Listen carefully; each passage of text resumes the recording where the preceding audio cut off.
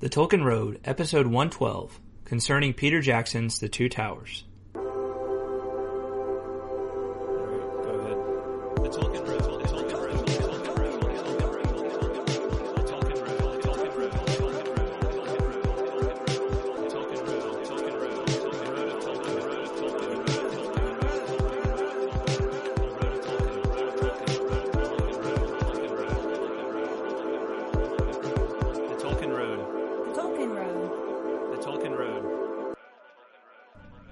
Hey there, fellow travelers. Welcome to the Tolkien Road, a long walk through Middle Earth. On this episode, we're joined by listeners Josh Sosa and Will Hutton as we take a close look at Peter Jackson's 2002 film version of The Two Towers. Before we get started, why not hop on over to iTunes and leave the Tolkien Road a rating and feedback? It's a great way to show your support for the show and takes less than a minute. Or you can stop by TolkienRoad.com, learn about previous episodes, and say hey. We're also on Facebook at facebook.com slash Tolkien Road, and you can find us on Twitter via at Tolkien Road. Thanks for listening and enjoy. Hello everyone, welcome to the Tolkien Road. John here. Greta, how you doing? Hey, hey, I'm good. How are you? I'm good, I'm good. Had a nice little uh, break from recording over the last few weeks. Yeah. And we're doing a special episode on the Two Towers today, and we are joined by two guests. Uh, Josh Sosa, who has joined us before on the podcast, uh, joins us. Hey, Josh. Hey, what's up? It's it's almost been a year actually since Oh, that Has it first been time. that long? That's true. Yeah, it was about Yeah. June last year, I think, that we did our episode with you. Wow.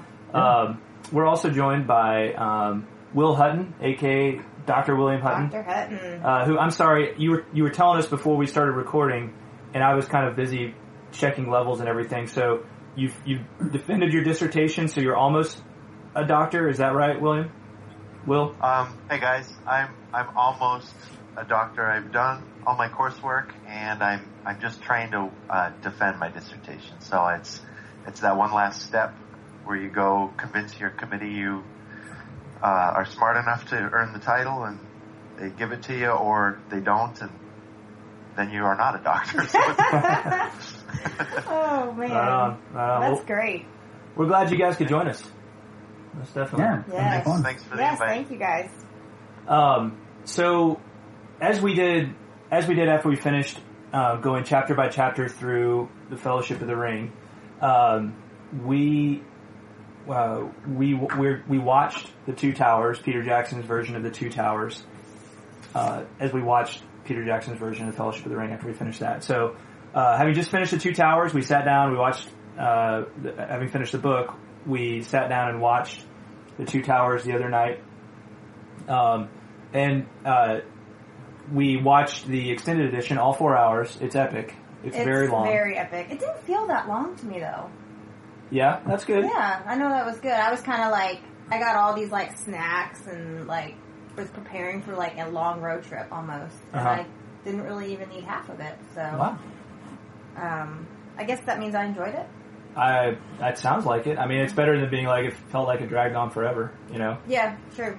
Um, so Josh, you were saying I asked you. You said that you because I, I told you like as we were watching it, I think, hey, we're watching the extended edition. You were like, oh, I don't own the extended edition, so you had to watch the theatrical version and then go watch the extended edition scenes on YouTube or something like that. I guess I don't know. Yeah, so when uh I I was just like vaguely following the dates and I was like, oh crap, I should probably watch the Two Towers.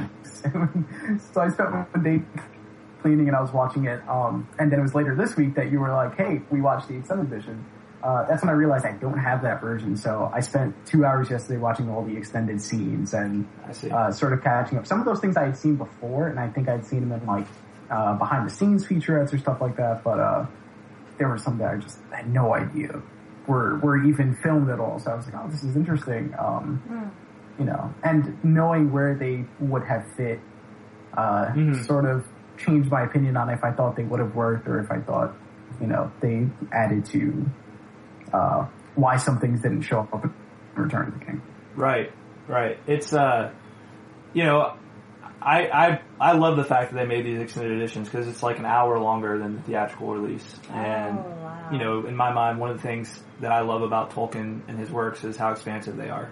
So it just makes it feel that much more expansive. Um, Will, what about you? Did you did you watch the extended editions? Um, I did, and um, when Josh said he didn't have it, I thought, how how can you not have the extended edition?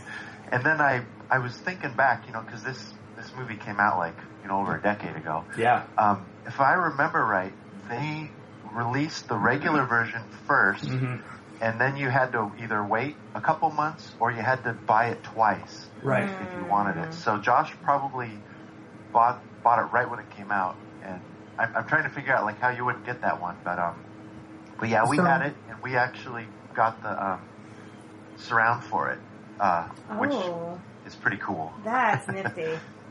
Very cool. The uh, yeah, you know that when it came out was back in the day when Blockbuster still existed. You know, so I think we probably just went and rented it from our local Blockbuster, the, the theatrical version, knowing that the extended edition was going to come, you know, two or three months down the road, and why buy why buy both of them? Right. Um, Did we not see it in the theaters? We no, we saw. it. No, we definitely saw it. was I think we probably say, saw it twice in the theaters. And then we rented it. Yeah, Okay. And then you bought the extended edition. yeah. Okay. Yeah. Um, but uh, yeah, it's. I love the fact that they did these extended editions, and um, you know, I, I I thought it was appropriate to do the extended edition because even though Jackson said like, well, the theatrical version is really you know the the official version of the film, the extended edition is still exists and it's put out by the company. It's not like it's a bootleg or anything like that. So it is an official version of the film, and you know, it's like they felt it was good enough to release it. So, you know, let's let's use that one. It's got Yeah. more in it. So Yeah, I'd be interested to know. I kind of I'm a little jealous that Josh got to watch it separately because I'd be Mhm. really interested to know what because I just can't remember what was included in theatrical mhm. or what was included in the extended that wasn't in the theatrical. yeah. So maybe as we go through, Josh, you know, you can provide that perspective since I I don't think we're clear because I don't think I've seen the theatrical version probably since.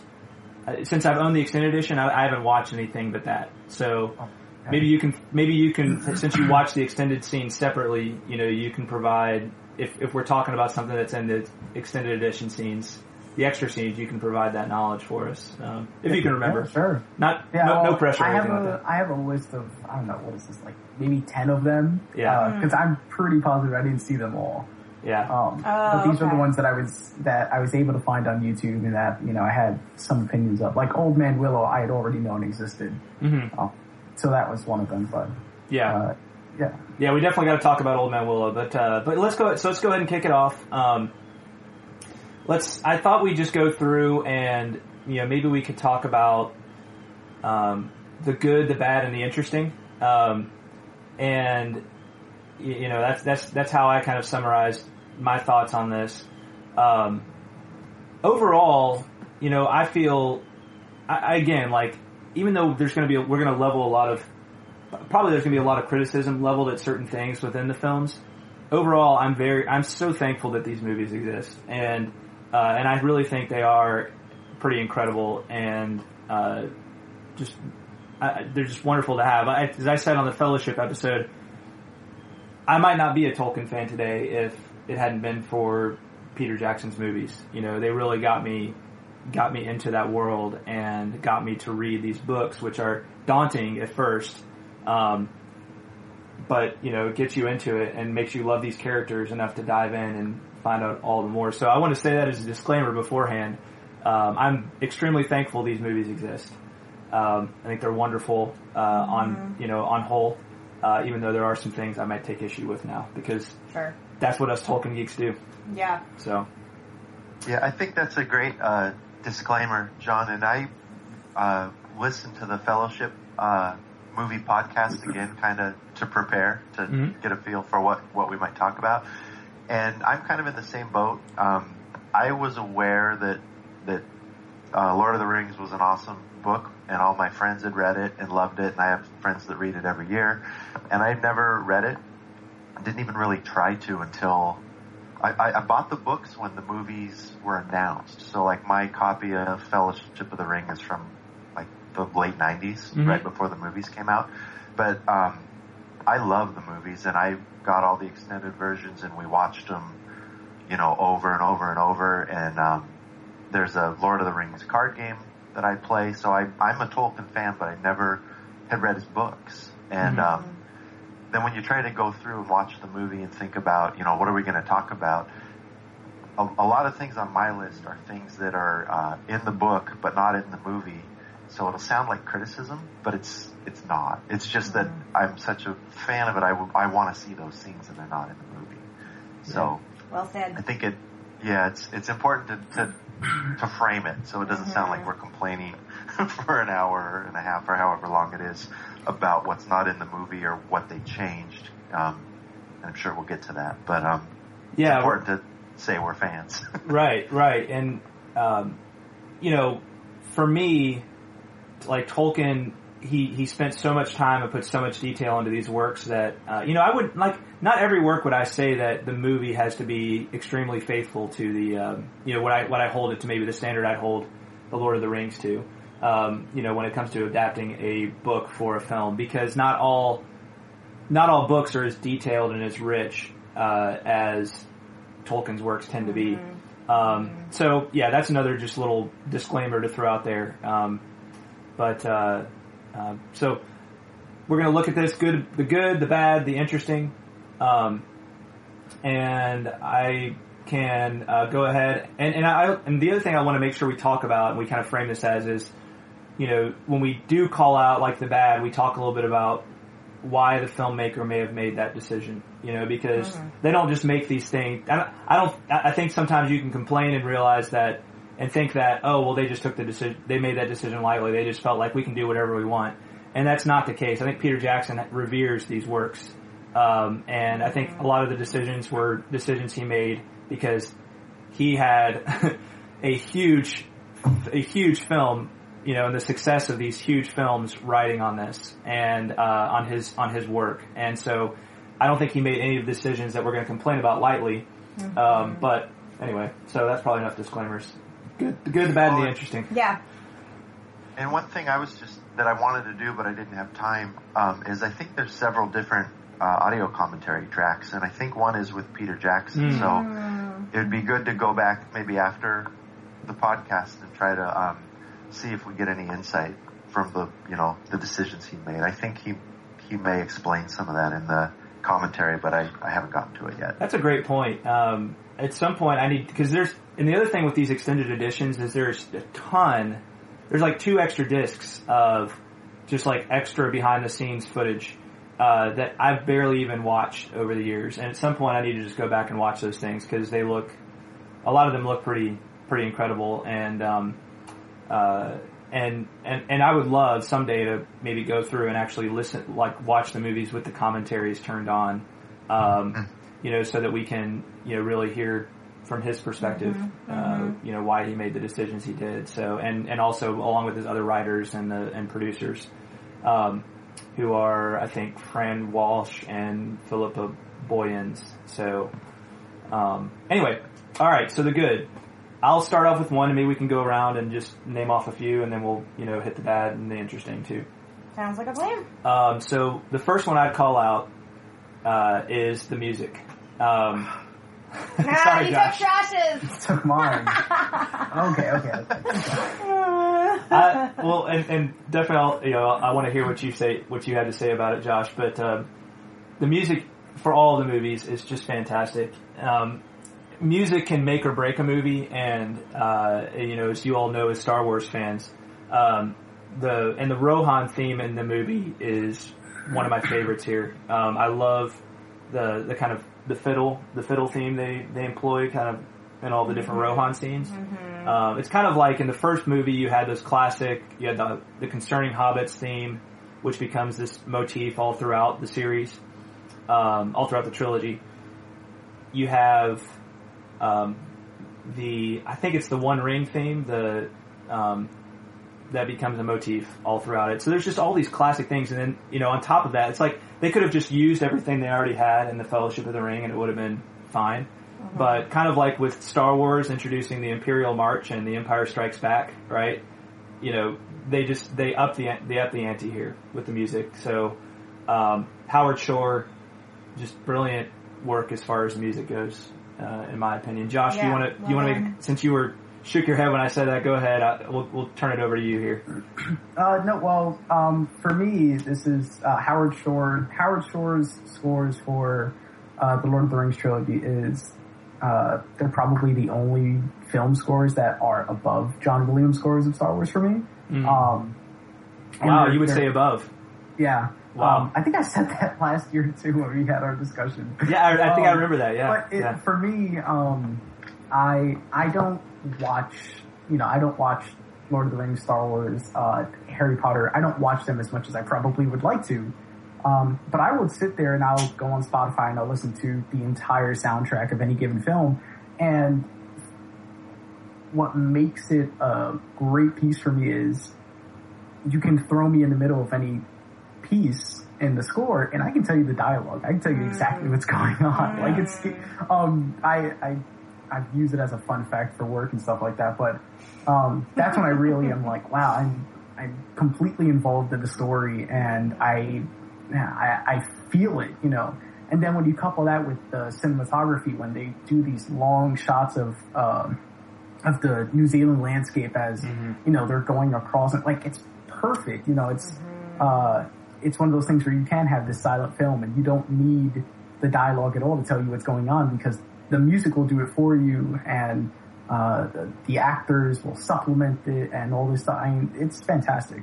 Um, Concerning Hobbits is probably one of my favorite pieces from The Lord of the Rings. Anytime uh, that comes up and a lot of this rural music comes around in uh, in Lord of the Rings or in The Hobbit as well, uh, very early on, um, those are my favorite pieces. Um, and so it was great too when I was watching the uh, extended scenes, which I had never seen before, and there's stuff like uh, the theme for Gondor coming up, and you don't really have that at all until you get to Return of the King, where it's all over Minas Tirith and Osgiliath and right. um, because they don't make so much of an appearance in the Two Towers film.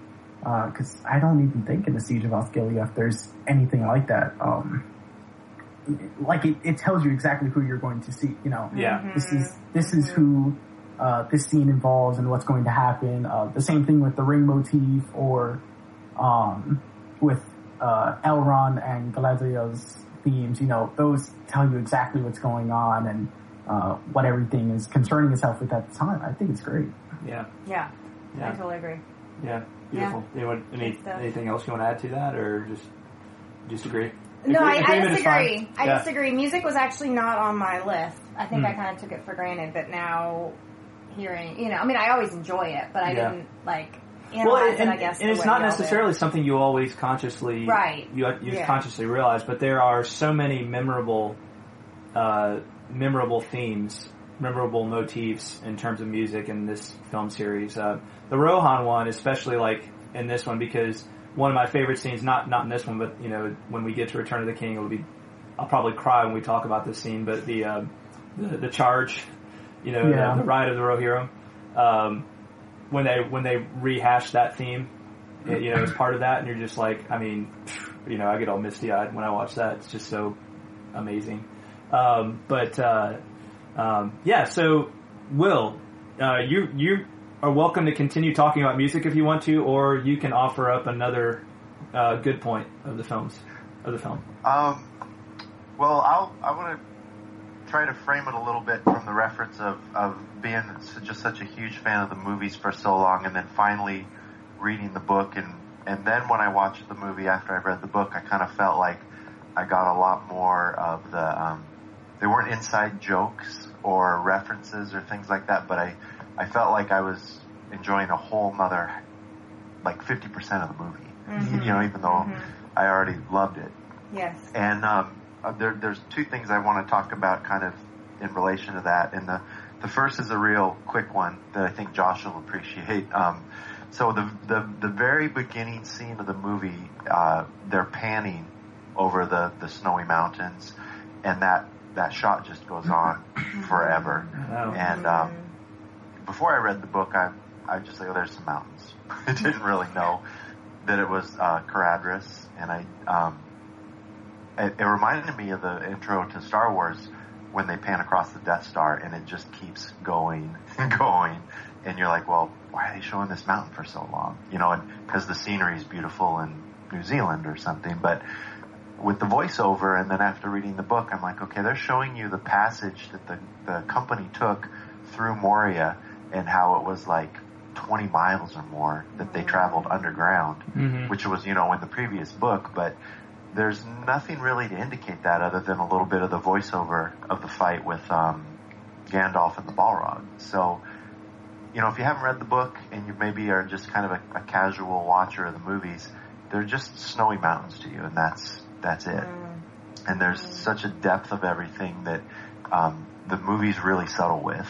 If um, you know, once you've read the books and listen to your podcast every week and put a lot of effort into it, you start to movie reveals more. You know, there's more to see. I think that's interesting. Oh yeah. Yeah, So, um. And then, then the other thing is just I love the the brace of coneys scene Yes. out of um, oh yeah. Stewed Rabbit. so we watched this with my kids, um, you know, a while ago, and they go out of their way to call potatoes taters. So so the other uh, What's kid taters precious? Yeah, exactly. Yeah, what's taters precious? And they crack themselves up, and it's just so funny. And and when I was reading the book, I that scene is like not just word for word in there, but it, it goes on for like pages, which is kind of cool. So Yes. um, I do like that scene in the movie. It's probably one of my favorite scenes just because of the the connection to our family. So it's yeah. I like that a lot. Definitely, we quote that one. Um, I, we, we, Yeah. we quote uh, what is it? Uh, potatoes. Yeah. I have mashed them, put them in a stew. You know, we that's uh, we always say potatoes. I think that's a frequent thing that we quote in our house. I, Yeah. uh, our kids haven't seen the movies. Um, I'm I'm a stickler for like uh, we'll let them uh, we'll tease parts of it for them, but I won't let them watch it until they read it because I'm like I'm trying to Oh, get wow. them to. Um, eh, you know, I may break on that at some point, just just because I know I didn't read them until I watched it. But what can I say? I'm a, I'm you know that's me. That's me as a dad. Um, uh, but great, yeah, great, great stuff. Yeah. The, yeah, well, and on your point of the mountains, the the layout, just New Zealand again, visually beautiful. It, it is Middle Earth in our world. Um, You know, just a magnificent place. The the landscape, and I love your point about these. These look like just regular mountains. You might, well, not regular mountains, but mountains you might see somewhere in our world. But as you watch the film, having read the books and all that kind of stuff, you realize this is the Misty Mountains. You know, and you're like, that's a that's a lot like probably what Tolkien envisioned the Misty Mountains looking like. So. Yeah. Yeah, and you know, uh, part of that gets replicated in uh, Return of the King, where uh, when Pippin finally lights the beacon of Gondor, and you have that whole scene where every beacon is being lit between uh, between Minas Tirith and uh, they're at Edoras, I believe. Uh, Um, back in Edoras, yeah, wherever it is, Helm's Deep or Edoras or wherever it is. yeah, and again, you know, you uh, sure if you have a map, you can tell how far these two cities are from each other, but uh, having a visual aid like this is it's miles across and it's this really intricate uh, signaling system that they have. It might seem basic, but um, it's at particular points, you know, across mountain ranges, across the land that will be spotted. You know, even if uh, happenstance, you know, there aren't people at the next gate to like the next beacon, you know, things will get passed along. And that's why it's so significant when it does happen. Uh, because I, I feel like a lot of things that happen uh, in the films, yes, they're expanded upon um, from the books, uh, like like Helm's Deep, for example. Um, but I, it, it's meaningful in, in the visual aids and, and how it's being portrayed that really gets across. This is, and for the film itself, like this is, this is New Zealand, but you're in Middle Earth and you're, you are seeing Middle Earth and you are being thrusted into the path of, you know, what may be going on in this time period or such. right. Yeah, absolutely. Yeah, Yeah. it's uh, also also beautiful and uh, just magnificent, magnificent landscape. Did you did you have a good item you wanted to? Mm-hmm. Yeah, I mention? wanted I wanted to call out the um the scene of Gandalf the White when he comes back. Um, I thought that was just really well done. Mhm. Um, because you know he first appears um to Merry and Pippin, right? And you don't see his face. All you see is like the back of him. Mhm. And I remember when I was reading the book, it had been so long since I'd read it, before, I had forgotten that Gandalf comes back, and at first I thought, oh my gosh, it's Saruman. Like Saruman's here, and I totally got that same feel- feeling in the movie. I was like, oh my gosh, it's Saruman. Um, I thought they did it so well. Um, and then when they finally pan around and he greets, you know, Aragorn and Legolas, and they obviously think it's Saruman. Um, and um, and then they just, you know, they pan out, you see him. He totally looks just how I pictured him, like Yeah. just big and tall and glowing and glorified, and a, you know, a better version of his old self. hmm Um, so I, I just really liked the way they did that. I thought it was really true to the book, and it kind of evoked the same emotions Mhm. when I saw it than when I read it. I did uh, a great point. I think um, I like I like adding to that. I like the uh, the flashback they show of Gandalf smoting the Balrog on top of uh, the peak. Is it is it the peak of Caradhras that he does it? Um, wherever he he has to climb. You know, they don't show him climbing up the the staircase, but they show him on the peak of the mountain where he you know where he does it. So I love that they showed. You know, they showed little, this little Gandalf guy going up against this huge Balrog, and you know he he he smotes the Balrog, you know, and then he and then he passes out of like time and memory, um, you know, into the into the deeps of time, I suppose. Yeah, Um, yeah. so um, on, on that note, I- a little quick. It, this, this isn't really a huge thing, and I was actually going to mention this in the interesting. But since we're talking about Gandalf, did anybody pick up where he talks about uh, having been in Middle Earth for like 300 lives of men? Yeah, I Yeah. heard that. I tried to do the Yeah. tried to do the math in my head, and I was like, That- "That's really well, long." So if you assume that, even if you assume a lives of men of like 60 years, like a lifespan of men, or even let's just say let's just say 40 years, right? Because that's like a generation in the Bible, right? Um, uh, that would be like 12,000 years. So he, Gandalf has not been in Middle Earth for 12,000 I years. remember, yeah, I remember him saying that, and I was like, "Whoa!" Like I knew he was old, but is he like really that old? Yeah. Yeah. Well, and those that might be a, a underestimate of the age too, right? Because I don't. Were, were all men Dunedain, and then there was like a, a branch? No, Or- there were men in Middle Earth. Like when when the men did rise, there were separate men from from what we know to be the Numenoreans and such that did eventually come over to Middle Earth. Right. Because the uh, the Haradrim and the other wild men, they were there. They were uh, a pre-existing community, Mhm. uh, along with, I believe, the early Rohirrim as well. yeah, you're right. So, so there were there were like different species of men. Is that right then? not different species Or- per se. What what what happened? Like men, men were you know men were all men, and then you have the friends of the elves in the first age, who are rewarded after the fall of Morgoth. They're rewarded Oh, for okay. uh, for their friendship and their kind of standing fast with the elves by being given long life and being able to dwell in this land of Numenor, which is like just just out of reach of Valinor, but it's it's of the Blessed Realm, but it's much closer to the Blessed Realm than um, than the rest of Middle Earth is. So they're given this land and they're separate. And that's that, that's who the Numenoreans, the Dunedain, are. Um, they're so they're normal men, but they've been kind of blessed with longer life than normal men. Three three times the lifespan of normal men. Um, Right. The Okay, and that's why I was wondering if, if you know how that worked out. If maybe we were you know off by a factor of three, but doesn't sound like it. Yeah, I mean the best, even the conservative estimate is that Gandalf, by that is like in twelve has been there for twelve thousand years, and it's like, and, and I don't know, maybe maybe maybe he meant that he's just been around for twelve thousand years, which that's possible because you have the third age three thousand years, you have the second age three thousand years, and the first age is only like five hundred years, and then you've got all the prehistory that you know of all the ages before The time the- of trees, the time of lamps. right, which no one knows how long those things were really. Yeah. Um, so you you know, and he is a Maiar, so it could be that he's just referring to how long he's existed in the world. Um, but uh, anyway, I was kind of doing the math, and I was like, well, if it's meant to imply that he's been around Middle Earth for 300 lives of men, that's just not possible. Right. Men, men have not yeah. been around that long. right. You know. Right. Yeah. Maybe it Um, means in general, like yeah. he's existed. Anyway, it, it you know that's I don't want to quibble too much on that, but um, just you were talking about Gandalf, so I, Gandalf, I thought about that. And, uh, but yeah, Gan- Gandalf overall, I think uh, his transformation into Gandalf the White Mm-hmm. um, is uh, is done well. Um, it uh, it makes me think a little bit of.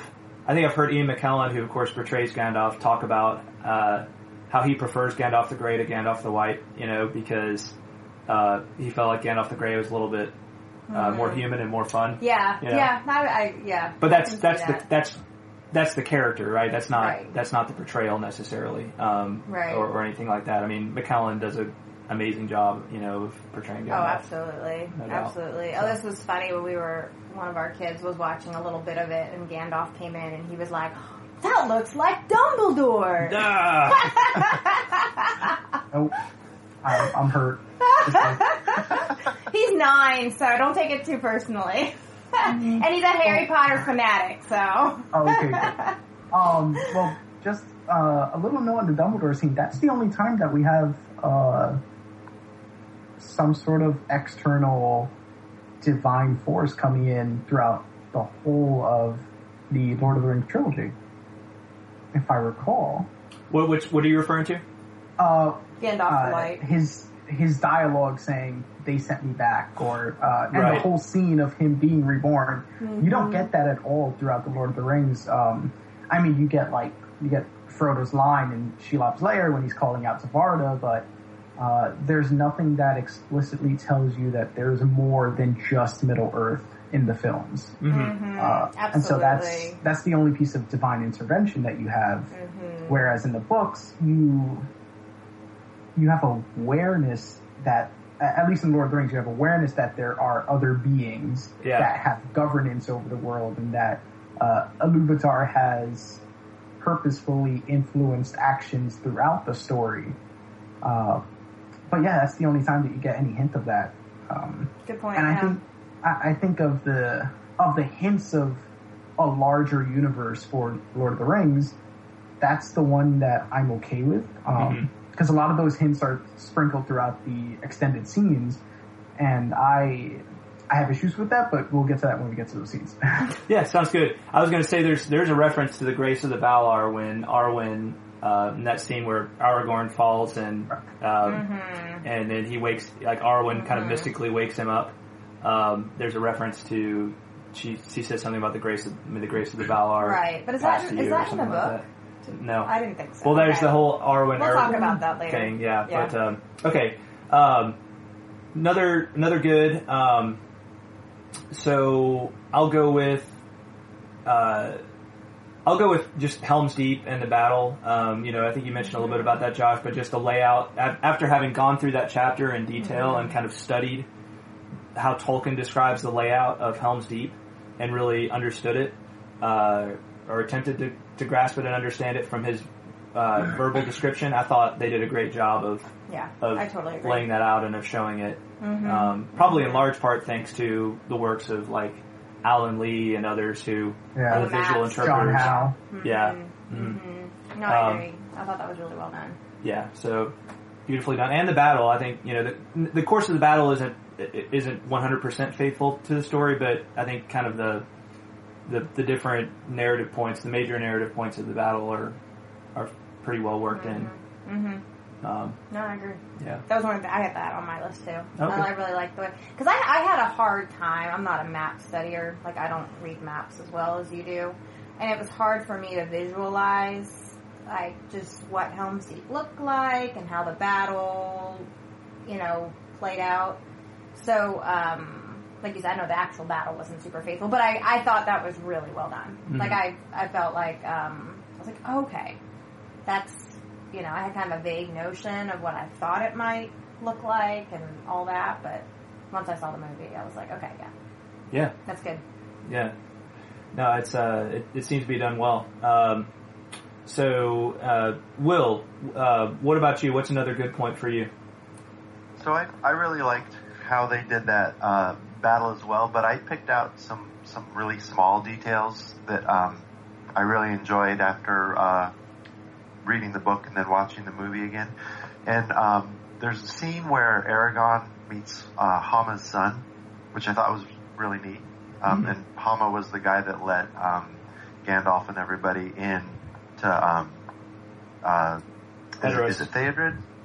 Yeah. Yeah, Theoden. Theoden, Yeah, yeah. Theoden. Mm-hmm. Yeah, Theoden. Yeah. So um, I thought that was really neat, where he he inspired him because he was he was nervous about the fight, and he said, well, "Let me see your sword." And he Mm-hmm. he kind of bolstered his courage by just commenting on how great his rusty, dinged up sword was. It was a pretty terrible looking sword to me. It was pretty bad looking. a But, whole lot of notches Aragorn- and nicks and everything in it. Yeah. Yeah, Yeah. yeah, but Aragorn's like, hey, this is a great sword, and you know, as long as you've got this great sword, you're going to do fine. And Mm-hmm. I, I really like that scene of Mhm. um, how Aragorn was able to inspire and lead and, and give courage to someone. Yeah. And and similarly, there's a scene with um, Legolas and Gimli uh, towards the end of the battle when Legolas apologizes for uh, despairing.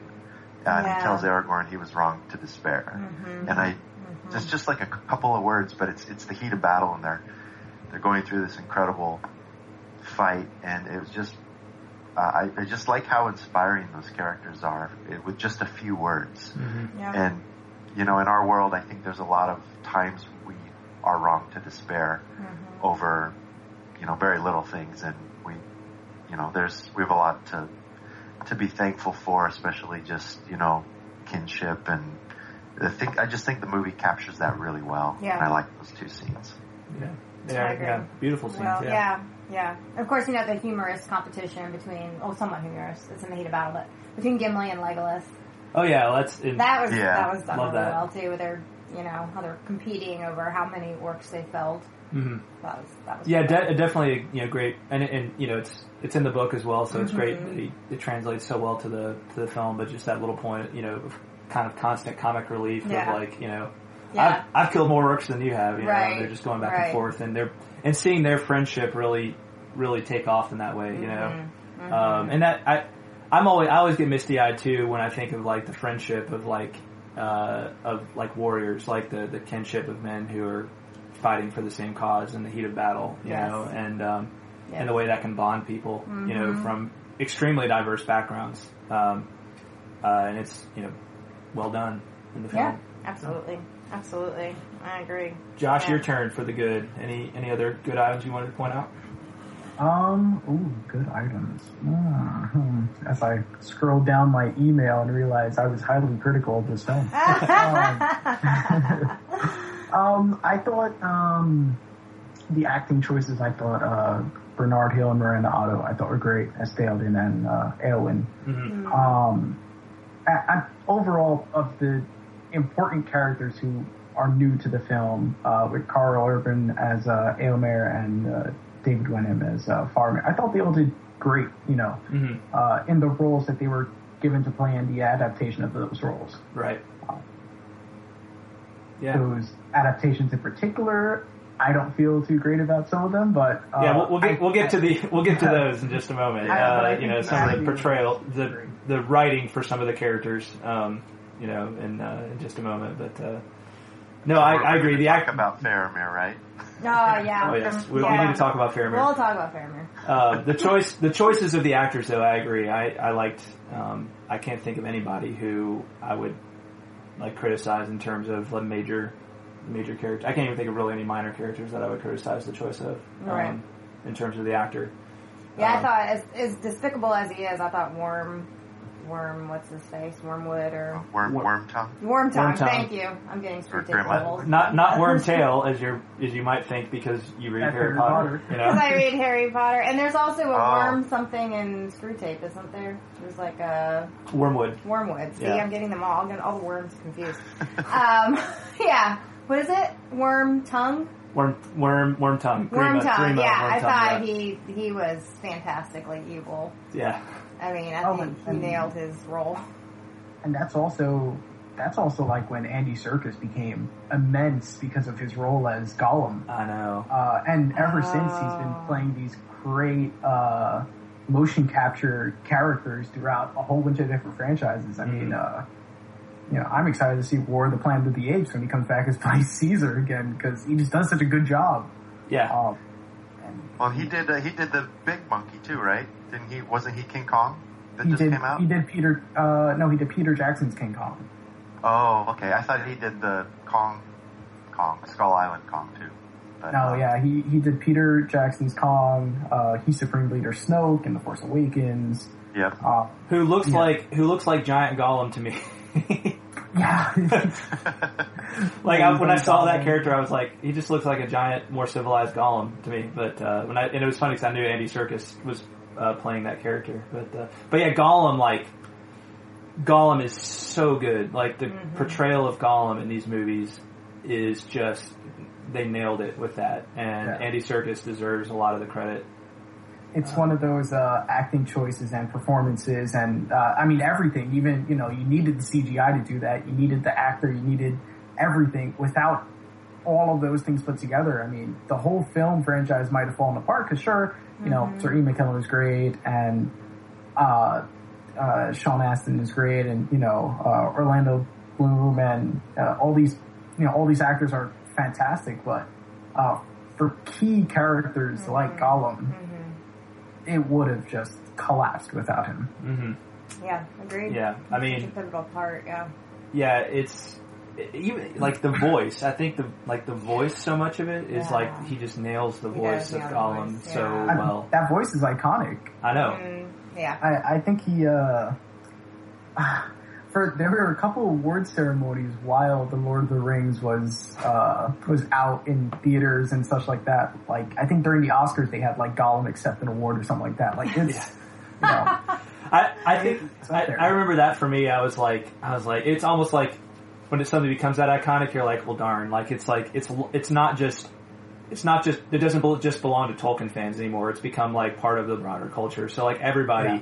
everybody knows Gollum is that character now, and it's and it you know to the point of like you're right, like he's going to show up in like different places just completely outside the context of the Lord of the Rings, and you're like, I kind of wish that didn't happen because that kind of it does something to the character at that point, but I don't know. At some point, yeah, but it, it, it's going to become a part of pop culture. It's Exactly. like why, you know, for the past 40 years, you know, people have been, you know, getting oxygen tanks out when they want to sound like Darth Vader, you know. right?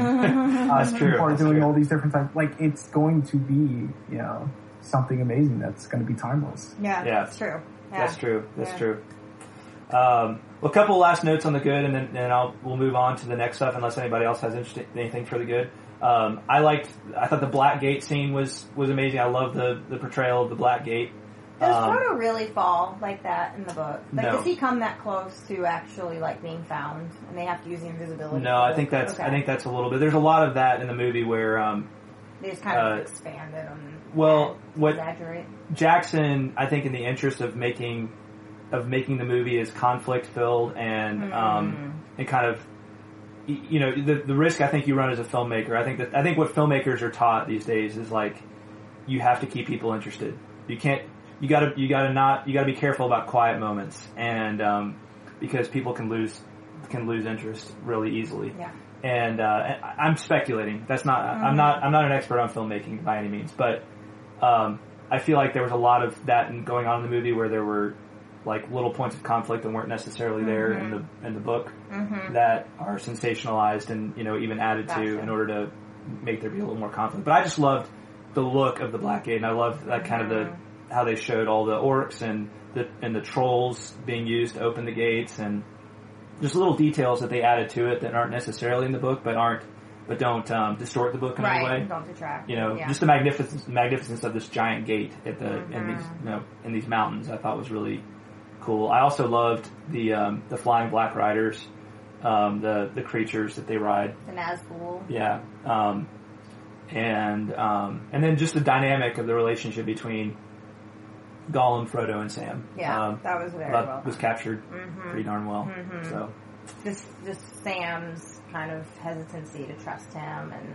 right. Frodo's more willing. You know, his willingness. Frodo's to be more Frodo's seeing in him like you know Yeah. there's something there's something in him um, you know that's like a fellow hobbit about him and maybe he can be redeemed Right. maybe he can be Right.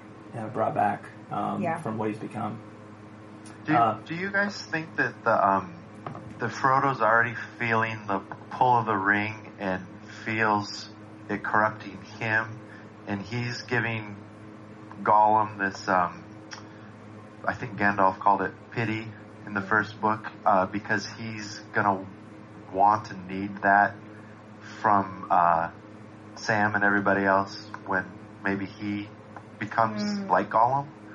Hmm. That's an interesting thought.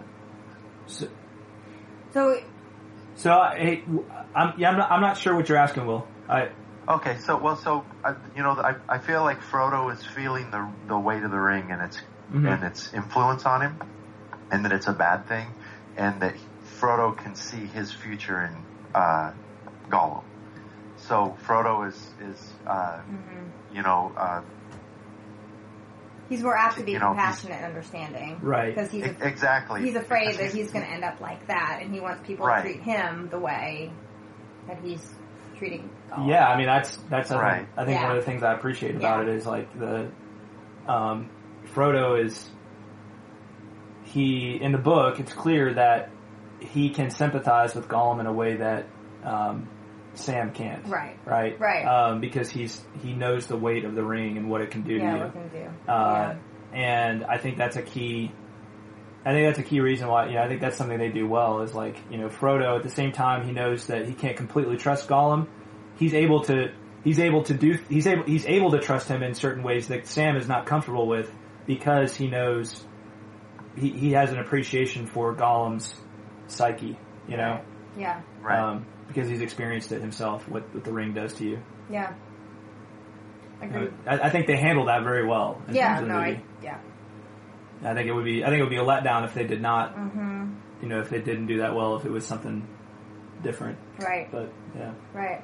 And I think the audience is probably most or more apt to relate to Sam's point of view. On oh that, yeah, right. oh, yeah, Um, so that's just kind of an interesting, you know, kind of like you want to be compassionate like Frodo, but you just you you, you don't you can't relate to Mhm. what he is going through, what Gollum has been through, and so you're more apt to identify it, with it, Sam's reaction. and at the same time, that's part of the brilliance of the Gollum portrayal is like he he still is he still has hobbitish qualities to him, and so Mhm. even though he's become this despicable, he's he's, he's a murderer, he is a sneak. Uh, he's he's slinker and stink, you know, slinker and Mhm. stinker as Yeah. um as Sam calls him, right? Even so, you can still see something in him that you know you're that you can sympathize with, and even you're kind of like, you know, he still is kind of there, there's I, I don't know if you can call it innocence, but there's something in him that's a little bit that's small, and uh, and you you realize that he's a victim, you know, just as much as just as much as he's responsible for the things he's done, but he's a victim at the same time, and I think being able to show somebody is both be, because I mean that's what evil does to all of us, right? Like, w- you know, one of the things that's so wonderful about Tolkien's works is that portrayal that we're responsible for the things we do, but we're also victims when we choose when we choose the wrong steps. We're victimized by that. Uh, we're distorted and and and broken by that. right. Um, Well, so something else that was I thought was done really well with just Gollum in general was the Smeagol versus Gollum. Mhm. You know, kind of the the, the, The split- the dialogue. split yeah, the split personality dialogue. I thought was really well done. Well, I was gonna, uh, I was gonna cover that when we get to the interesting. Uh-huh. Um, Sorry. Maybe we can. No, no, you're good. Maybe we, maybe we'll come back to that when we get to the interesting. Okay. Um, because I wanted to, because that's not in the book necessarily. That like one it was. scene. Well, there's different, there's different little tastes of it, but the way it's done, Oh, I see what you're saying.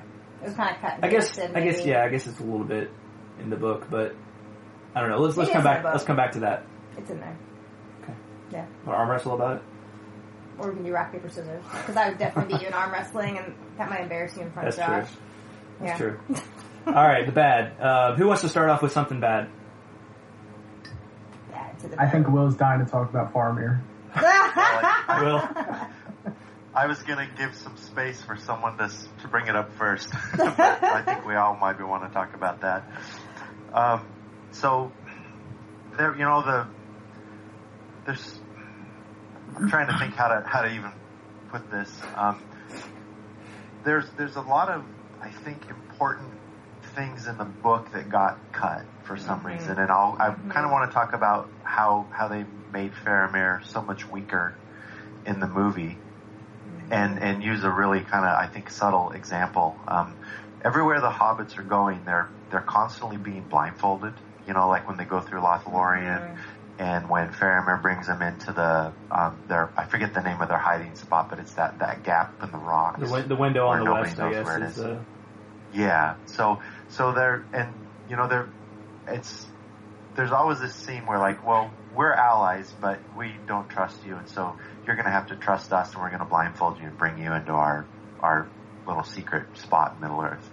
And the scene where they get Smeagol and in the pool, you know Frodo because they they're gonna blindfold him too. In the movie they throw a bag over Gollum's head and they all just trot off with him. Mm-hmm. But in the book, Frodo's like, hey, go ahead and blindfold me first and show mm-hmm. Gollum that it's okay, and mm-hmm. and maybe Gollum will trust me, and then we can all trust you. So they Right. they cut a lot of that out of the movie, even to the point where uh, when Faramir's discussing Frodo's mission with him, and Frodo kind of lets it slip that he's got the ring, and then Faramir lets him go, and instead of you know saying, well, we're going to take this ring and we're going to I'm going to bring it back, and this is my chance to look good in front of my dad, you know, Denethor. Um, the the movie added all that, and I kind of felt like it, it it didn't really make the movie better, and it really weakened the character compared to the book version of Faramir. So there's, Yeah. I'm sure there's lots of other stuff. Yeah. Yeah, I mean, spot on, right? Like Faramir, that that may be the single biggest problem with this movie is like the portrayal of Faramir, like because he is such. You read the book and. I mean, it's it's clear. Like, there's certain characters that you're like, it's it's kind of like emphasis and that kind of thing. Um, you know, different difference in emphasis, difference in the way the character was maybe adapted. But this one, you're just like, okay, there's definitely book Faramir and there's movie Faramir, and they're two different characters. Like, book Faramir is this just shining, like, uh, paragon of like Goodness virtue and goodness and uh, and just everything like a good warrior should be. And um, and he's not even a war. Like he he even says like I'm not even I'm not really even a warrior. I just happen to find myself in circumstances to be one. Um, but he's just he's like this ultimate. Uh, he, he's he's almost like if Bar if Boromir for all of his goodness and his good points who who falls, uh, it's almost like it- it's almost like the old Adam versus the new Adam, right? It's like you know Boromir falls and Faramir is the is the new Adam, the one that doesn't fall, right? Yeah. Um, Boromir the White. yeah, you know, he's Yes, in the in the yes. book. He's such a uh, he's such an incredible and uh, virtuous character, and in the movie, he's just suspicious and he's like he's got this father wound and Yeah. um, He's got the little brother complex. he's got the little brother complex, Yeah. um, and he's he's pretty, you know, not, I I don't know if you want to go so far as saying cruel, but he's borderline cruel to the hobbits and just distrustful and and just not even really that wise, you know. Mm-hmm. Um, but he's all those he's all the opposites of those things in Right. the book. In the book. Absolutely. Yeah. The one good thing I want to call out in the midst of all this criticism is, criticism is I think he was cast well. Mhm.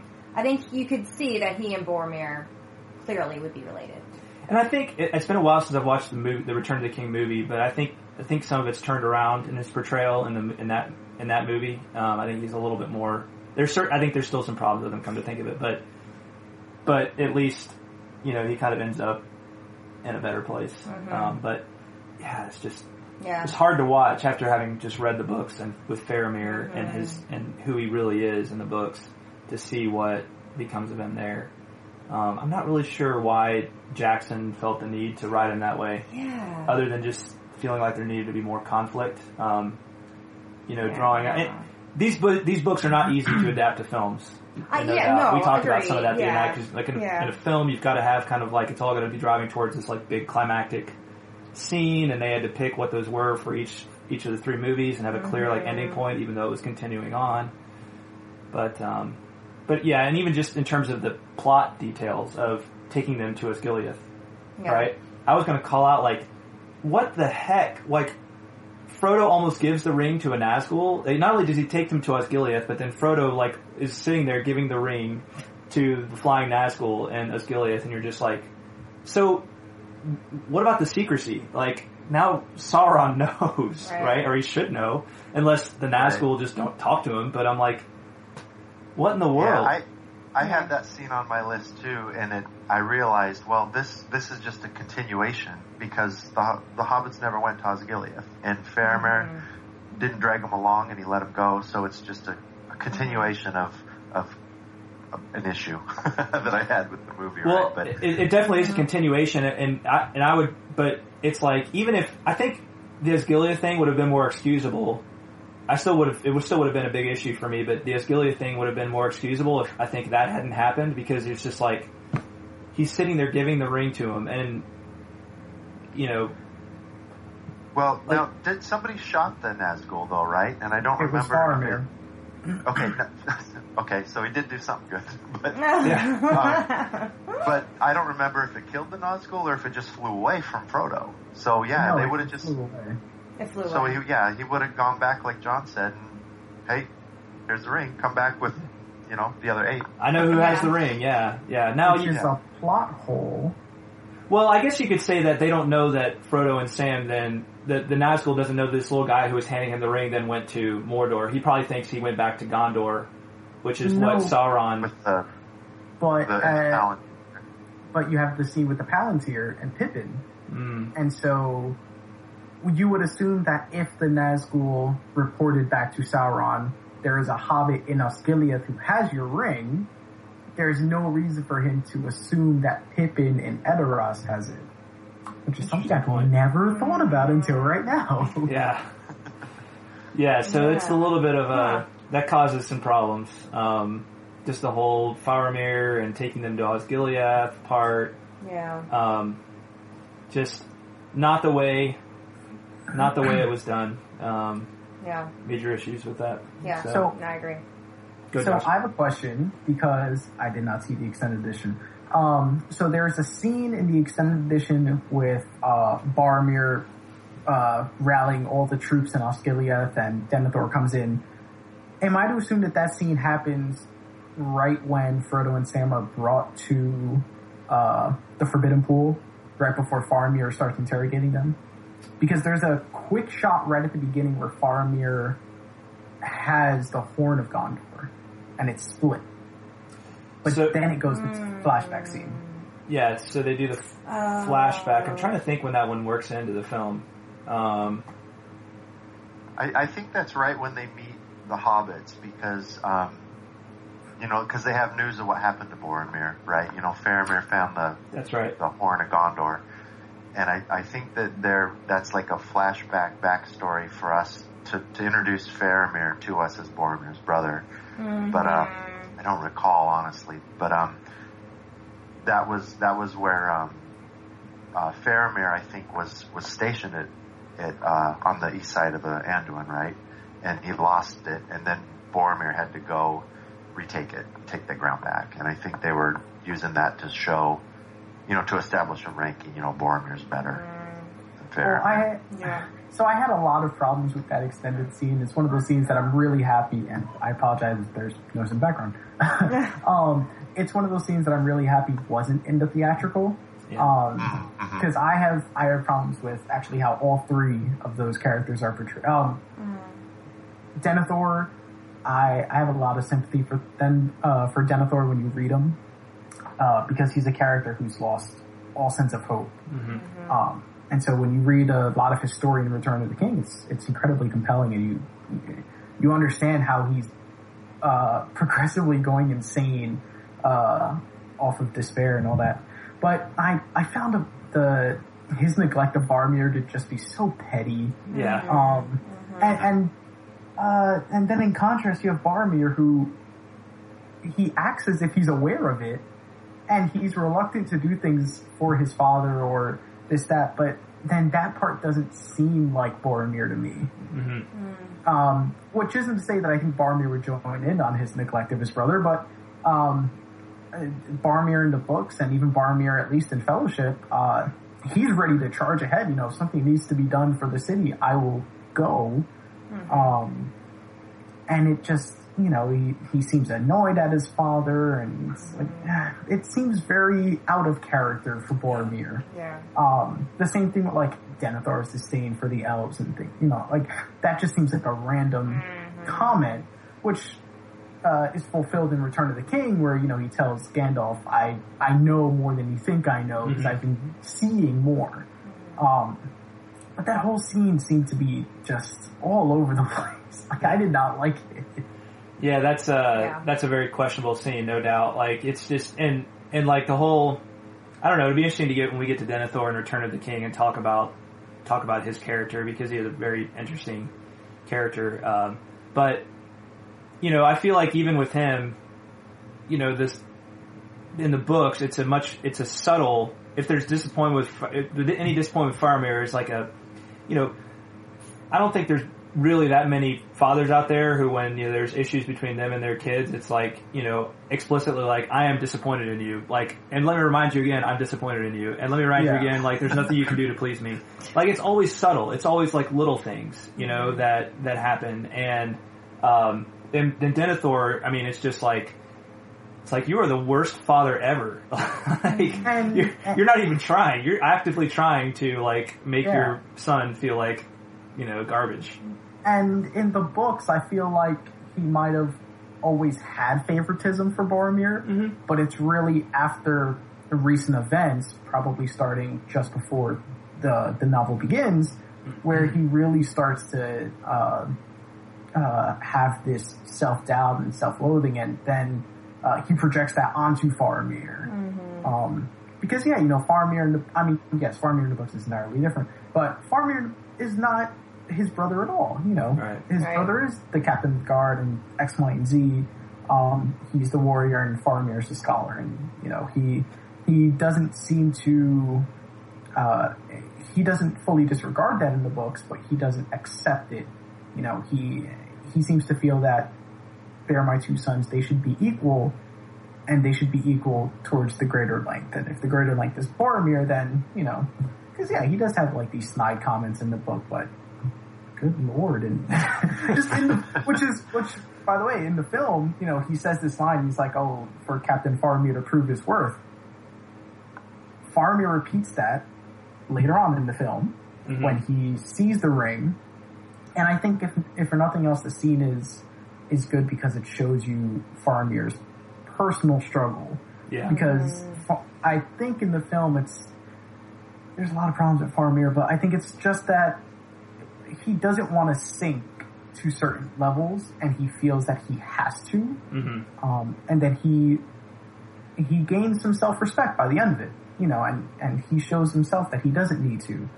Um, but then that phrase gets repeated by Sam, you know, you've shown your worth, Captain Faramir, uh, which is also an extended scene. hmm And I like that scene. Yeah, well, and that the conversation between I feel like between Faramir and the hobbits when when he you know finally decides to let them go, you know, I feel like that all because Sam isn't Sam is pretty skeptical of Faramir even in the book.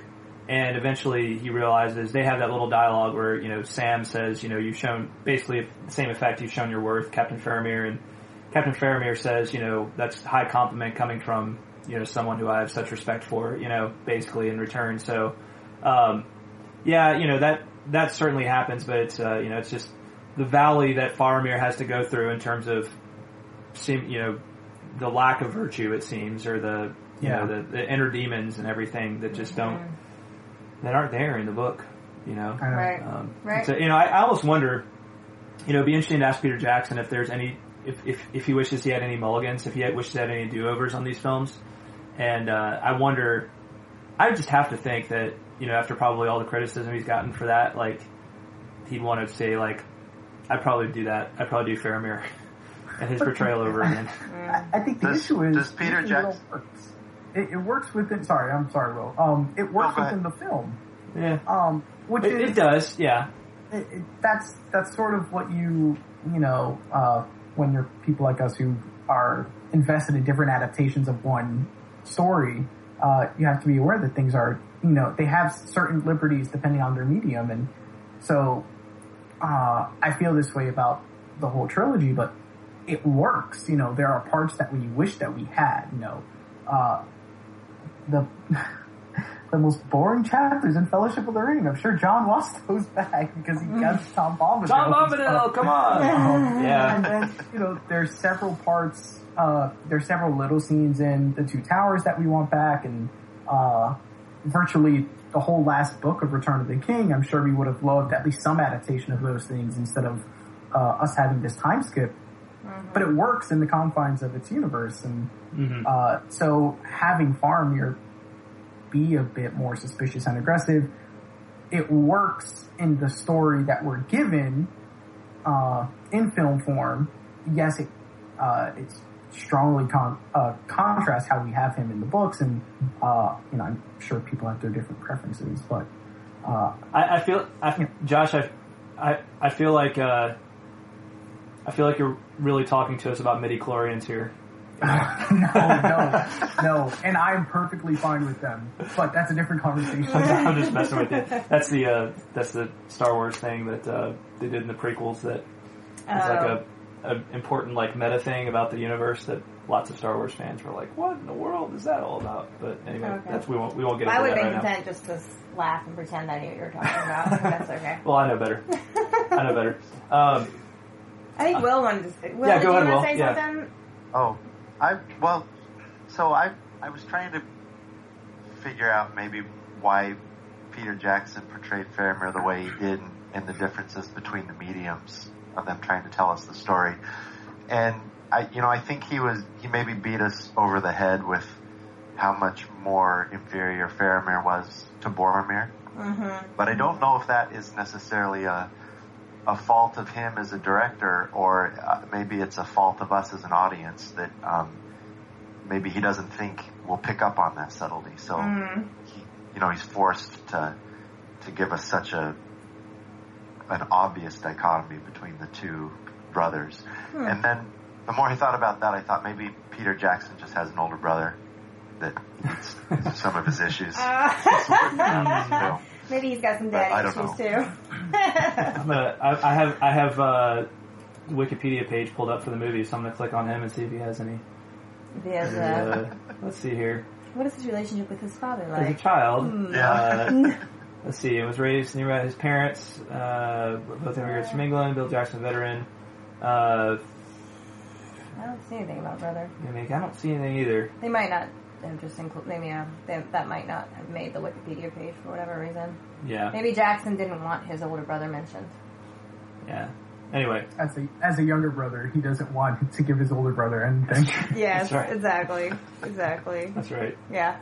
Um, okay, so uh, let's see here. Some other. Uh, so, got to bring up um, Theoden's possession. Um, not not possessed in the book. Not not possessed by Saruman in the book. And uh, you know, I, I feel like Go ahead, I feel Josh. like John's about to say something. I'm gonna be like, no, no, it's gonna be the Balrog with wings again. No. Ah. no, we already covered that. We you know? We'll leave let bygones be bygones. The Balrog is what it is. But um, Theoden's possession. Um, and the you know it, the way Theoden is initially handled in the film is uh, is pretty far off pretty far off the mark. I feel like, and again, there might be reasons for Jackson doing that, but uh, in the book, Theoden is he's just he's kind of given into a despair about his situation, as uh, you know, in, in large part because he's under the influence of Grima Wormtongue, and it's not necessarily that there's not some you know kind of spooky, more magical stuff going on, but you know, just the whole thing of him like just being like a lump of old flesh, just sitting there mumbling. Like that's not how he- it was overdone. it's overdone. Like it's it, that's not how he is in the book. He's just he he's he has he's he's closed in. He's cornered. He's under the influence of a guy who is really not his ally and who's betraying him behind his back. Um, but he thinks is his only is the only person he can trust right. and um, and you know he's just and he, he he doesn't think he can trust Gandalf, you know. Um, whereas in the movie he's possessed by he's literally possessed by Saruman, you know. Yeah. Not not a fan of the way that all worked out.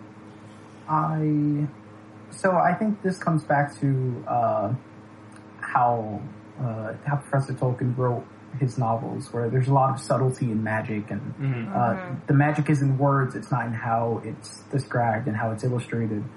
Um, and it's funny because I know having having watched some of the featurettes for the Hobbit films that Peter Jackson also doesn't like magic. He doesn't like showing magic. Um, and I think in this case, this was something that you can read it and understand what's going on from a psychological point of view. but you you do need a physical representation. And yeah, it might have been a little bit extreme uh, having him look like he just came out of Tales of the Crypt, but uh, I think it, it, it you know it's the representation that worked. You know, it's it's very different when you have the scene with Saruman rallying the wild men because you know Saruman's power is in his voice and his words, and so you don't need you know you don't need to see like sound waves going over people you know uh, starry eyed you know being convinced it it works Yeah. um, and I think, you know, if you just had the scene where he's talking and uh, it just becomes a debate where Grima Wormtongue is just ousted, it almost makes you think, well, what was the point in him being there to begin with? Um, If this was going to be such a simple task, uh, you might think, sure, you needed Gandalf to sort of get him out of this rut, but why couldn't someone else do it? You know, um, did it have to be a wizard? And then in that case, what on top of being a wizard makes Gandalf so special? You make some Yeah. good points, Josh. Yeah, I mean, no, I, know, I, yeah, I agree. and, and um, I think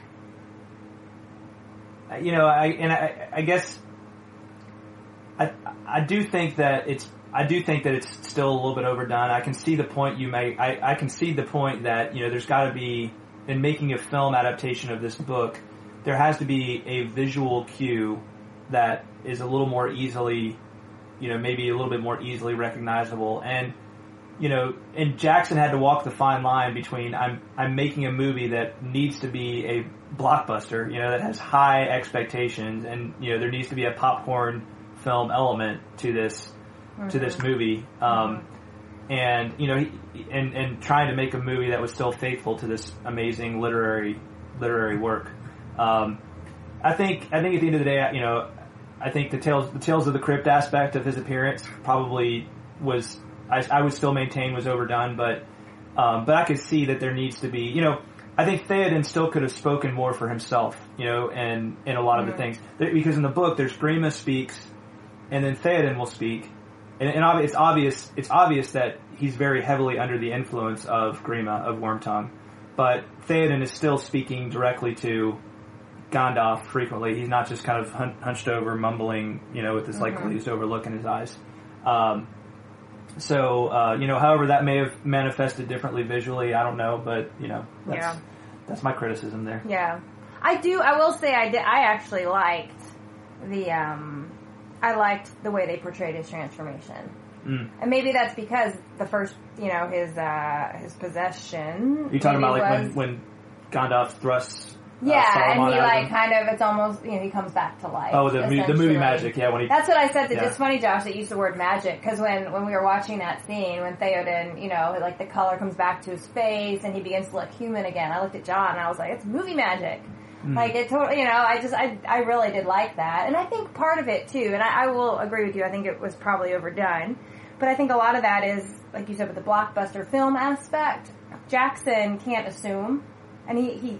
You know, rightly so, that everyone that's going to watch this movie has read the books right? So I think in certain things you need to almost overdo them to make the point so that people understand that haven't don't have the background understand what's going on. Mhm. You know what I'm saying? Sometimes extremes portray that a little bit better. True, true. And you know. Jackson is the one who's at this point has won the Academy Yes. Award for all of this, and Yes. I'm not. But uh, Right. No, Uh, but I, I understand what you're so saying. many. Yeah, I'm just yeah, yeah. yeah, for, for for the Return of the King, not for this one, but they got nominated for a bunch for this All one. but- eleven films. But basically, one. basically, Oh. Return of the King was the one that they were awarding him for all three of the all three films. of them, Um, right? Yeah. but uh, Completion. and it is a huge achievement. But uh, it, you know, again, not, it doesn't ruin the movie or anything like that. Mm-hmm. It's just something that's like could have been not not my favorite thing. Well, let, me, let me turn to Will um, or or Josh. Y'all want to or Greta? Do you want to offer another bad thing? Maybe. I want to hear from Criticism. Will. We haven't heard from Will in a few minutes. Yeah, Will, you still there? All right. Oh yeah, I'm here. Good. The, um, so I, don't- I don't have anything epic that was a dislike, but um, and, and maybe it's more of a conversation to ask you guys. Um, so so let me do the quick one first. One was there's what I'm calling the Olympic torch orc in the Helm's Deep battle. I know exactly what you're talking about. Yeah. Okay, I, I was not a fan of that. Yeah, so if you you might need to watch it if you don't know what we're talking about, but to me it just stood out as such a stark contrast to the rest of the movie. And and there's a scene earlier where um, Grima leans over the um, the gunpowder or whatever it is that Saruman is making with like this this tiniest candle, and Saruman pushes him back like he's gonna blow up, know, the whole tower. And then they need this like armored orc with a road flare to run in and set the bomb off. You know, it just it, it was really incongruent, and I just it felt really out of place. But um, I'm trying to remember. It's the part where the they set the bombs underneath the um, underneath the uh, the wall, the, the long wall at Helm's Deep. Uh huh. The the orcs set like those big mi- they're real, I guess they're mines or whatever, but like um, they're basically those big spike balls, and they put them up there uh, so that they can blow up the Oh wall. Oh yeah, yeah, yeah. They're like yeah. that's the one weakness of Helm's Deep, right. Yeah. and they put these things there, and then they and then the guy comes up to light them. The orc comes running up, and it's like slow motion, and that's oh, why I remember you know that's that. why he refers to it as the Olympic scene. The So- Olympic scene. And- yeah. and he ran by a lot of orcs with regular fire. they were much closer, so it was Oh. sort of like, "Here I am, shoot, shoot me, archers." yes. I, yeah. So, There you go. but I, I wanted to ask you guys about the um, All right, sorry, musical interlude there. um, uh, Ao. I'm trying to remember the name. Eomer's sister, I think, is Eowyn. Is that right? Mhm. Yes. Yeah. Now there was I don't remember a romance between her and Aragorn in the books. Is that was that added for the movie, or did I just miss it? No, in the movie, it's it's heavily implied that she has romantic feelings for him, Mhm. And But- he uh, he shows no response. You know, he doesn't reciprocate those feelings at all. Mhm. Um, even But I don't remember her as a character even in the book. Is was she? Oh, is she she's a in- made for yeah. movie character? Yes, or- yeah, she's No, in the she book. was. No, she's in the book. Yeah. She, she's definitely in the book, and there is there is some there is some kind of degree of uh, like I think I think she definitely looks at Aragorn and says, you know, wow, like in the book, I think there's this sense that like, wow, he's a hunk, you know, kind of, kind Right. of, Yeah. which but, maybe, yes. maybe isn't the best way to put it, but like, you know, just just like a wow, like an admiration for Right, this I was gonna great say man, a respect. you know, That's how I kind of read it. Was I think she thought a lot of Aragorn. Yeah. I think she had a lot of respect and appreciation for Mhm. what he was bringing to her, you know, her people. yeah, But I didn't. I think that was a little exaggerated in the movie, just for the sake I, of. I I think it. Okay, I think it was very over dramatic in certain scenes. Mhm. Uh, I think overall it worked, but you know there Mhm. uh, there's some random like right before the wargs attack and Eowyn turns around and she looks at Aragorn and you know he's majestically getting on top of the horse and going, Right. well, you know it's Yeah. it's a little much. Yeah. Um, A little cheesy. and and it it weaken it to me. I think it weakens her a little bit Mhm. because she's in the books and I think She's in so the films strong, as well. but- she's yeah. probably the strongest female character that we Mhm. have. Absolutely. Um, and she's at least in the book, she's the only female character that we have a lot of story for within the Lord of the Rings because because Arwen's a Arwen's a prize Mhm. um, for all intents and purposes. You know, her her character is uh, greatly exaggerated in the films, and I think it works in the films. Mhm. But you know, it's it's not to the same effect. Two very different type of women. Um, Yes. and when you're when you're reading it and when you're watching it, it's sort of uh, it, you yourself are are deciding which is the better choice, the one he's destined to be with, or um, or Eowyn. And you know, you have these two. They're they're both royalty. They're both uh, beautiful, strong, independent. And the only difference is one of them is divine and the other Mhm. is not. And Right. um, you know, it's it's sort of like um, it's not the same, uh, but it's sort of like in the books where uh, Gimli and Eomer have this uh, have their discussions on Galadriel, and Eomer in Return of the King. And I know I'm jumping way ahead. Um, he says that Arwen is the most beautiful woman he's ever seen, Mhm. and so Gimli's like, "All right, we have no more issues." You know, uh, I think the words he says is, uh, "You appreciate the moon while I appreciate the sun," Mhm. uh, Mhm. which is relevant to uh, Arwen and Galadriel's hair. Sure. um, sure. Yeah. But yeah, it's it's sort of like that, and especially when you think about uh, Eowyn is a woman, uh, and men as a as a whole race, men rose with the sun. You know, it's sort of like that similar uh, dichotomy. And Arwen's the moon, and Ar, you know, all these different things. Um, but yeah, I think in the film, it's just there's scenes where it's a little bit much. Yeah. No, I agree. works. Yeah. I agree.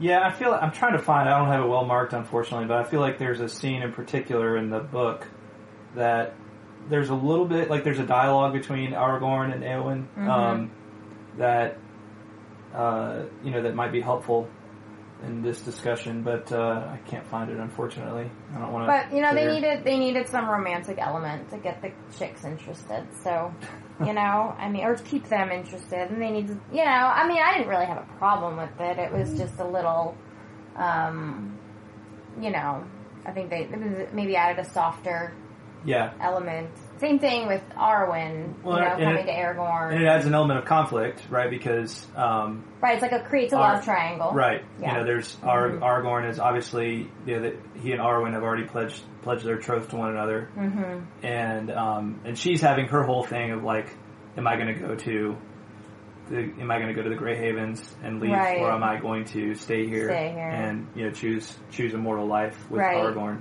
Which I thought was interesting too, and we might want to wait to talk about this, but just I noted but the Ar- the Arwen and Aragorn scenes, mm-hmm. and especially when Elrond comes in and is talking to Arwen about, you know, trying to convince her to go to Valinor, and she's like, "Oh, but I love man." It kind of made me it made me think of Beren Luthien.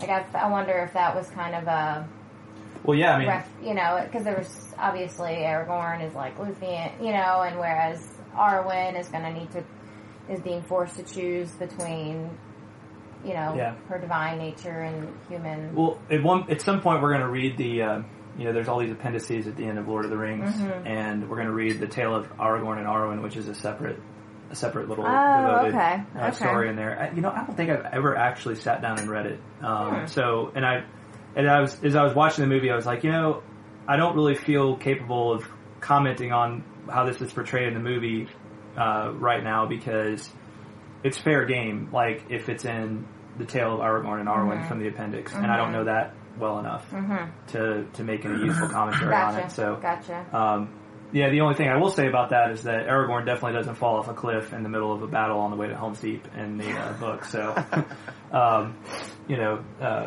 uh, but you know, again, so a little something added in there. I mean, I- you know, I, But he needed to fall in order to bring Arwen in. I guess, yeah, I think that's probably Yeah. probably some truth. Although with Eowyn and Aragorn, you know, having some flashbacks in there, you know, to Aragorn's, um, you know, to Aragorn's love for Arwen. Right, you know, with the everyone's asking about the Yes. the the pendant that he's wearing, and it's interesting to me that she she uh, she I don't know if this is in the book or not, but Eowyn actually asks Arwen, "Where is she?" Mhm. And he's like, "Who?" She's like, "The woman that gave you that Mhm. necklace or whatever." And I was like, "How did like how would she know?" That a woman gave that, I don't know. It just struck me as she's a very perceptive Who else would? Have, How else would he have that? I mean, you think about it though, like you know, especially back then, like would a you know guy have been just wearing something like something as beautiful as like a, a Yeah, man? I guess that's you know, true. Maybe an I elf, guess maybe an elf would have, but a man like what's that? Could have been dwarf made. That's right. Could have been an Entwife. You never I, I thought that was weird too, Greta. I, Okay, I, I thought that was presumptuous of, of her. But, um, you know, I guess the, he's a pretty scruffy guy to have such a pretty necklace. Yeah, it has such a pretty. Yes, yeah. This was before the ages of man bling and stuff like that. I guess before all the Yeah. yeah, before guys started wearing that kind of thing more regularly. Mhm. But and it was beautiful. Like I, it was you know, and obviously it probably looked otherworldly too, Mhm. and like it look, it had an elvish Oh yeah, quality yeah. to it.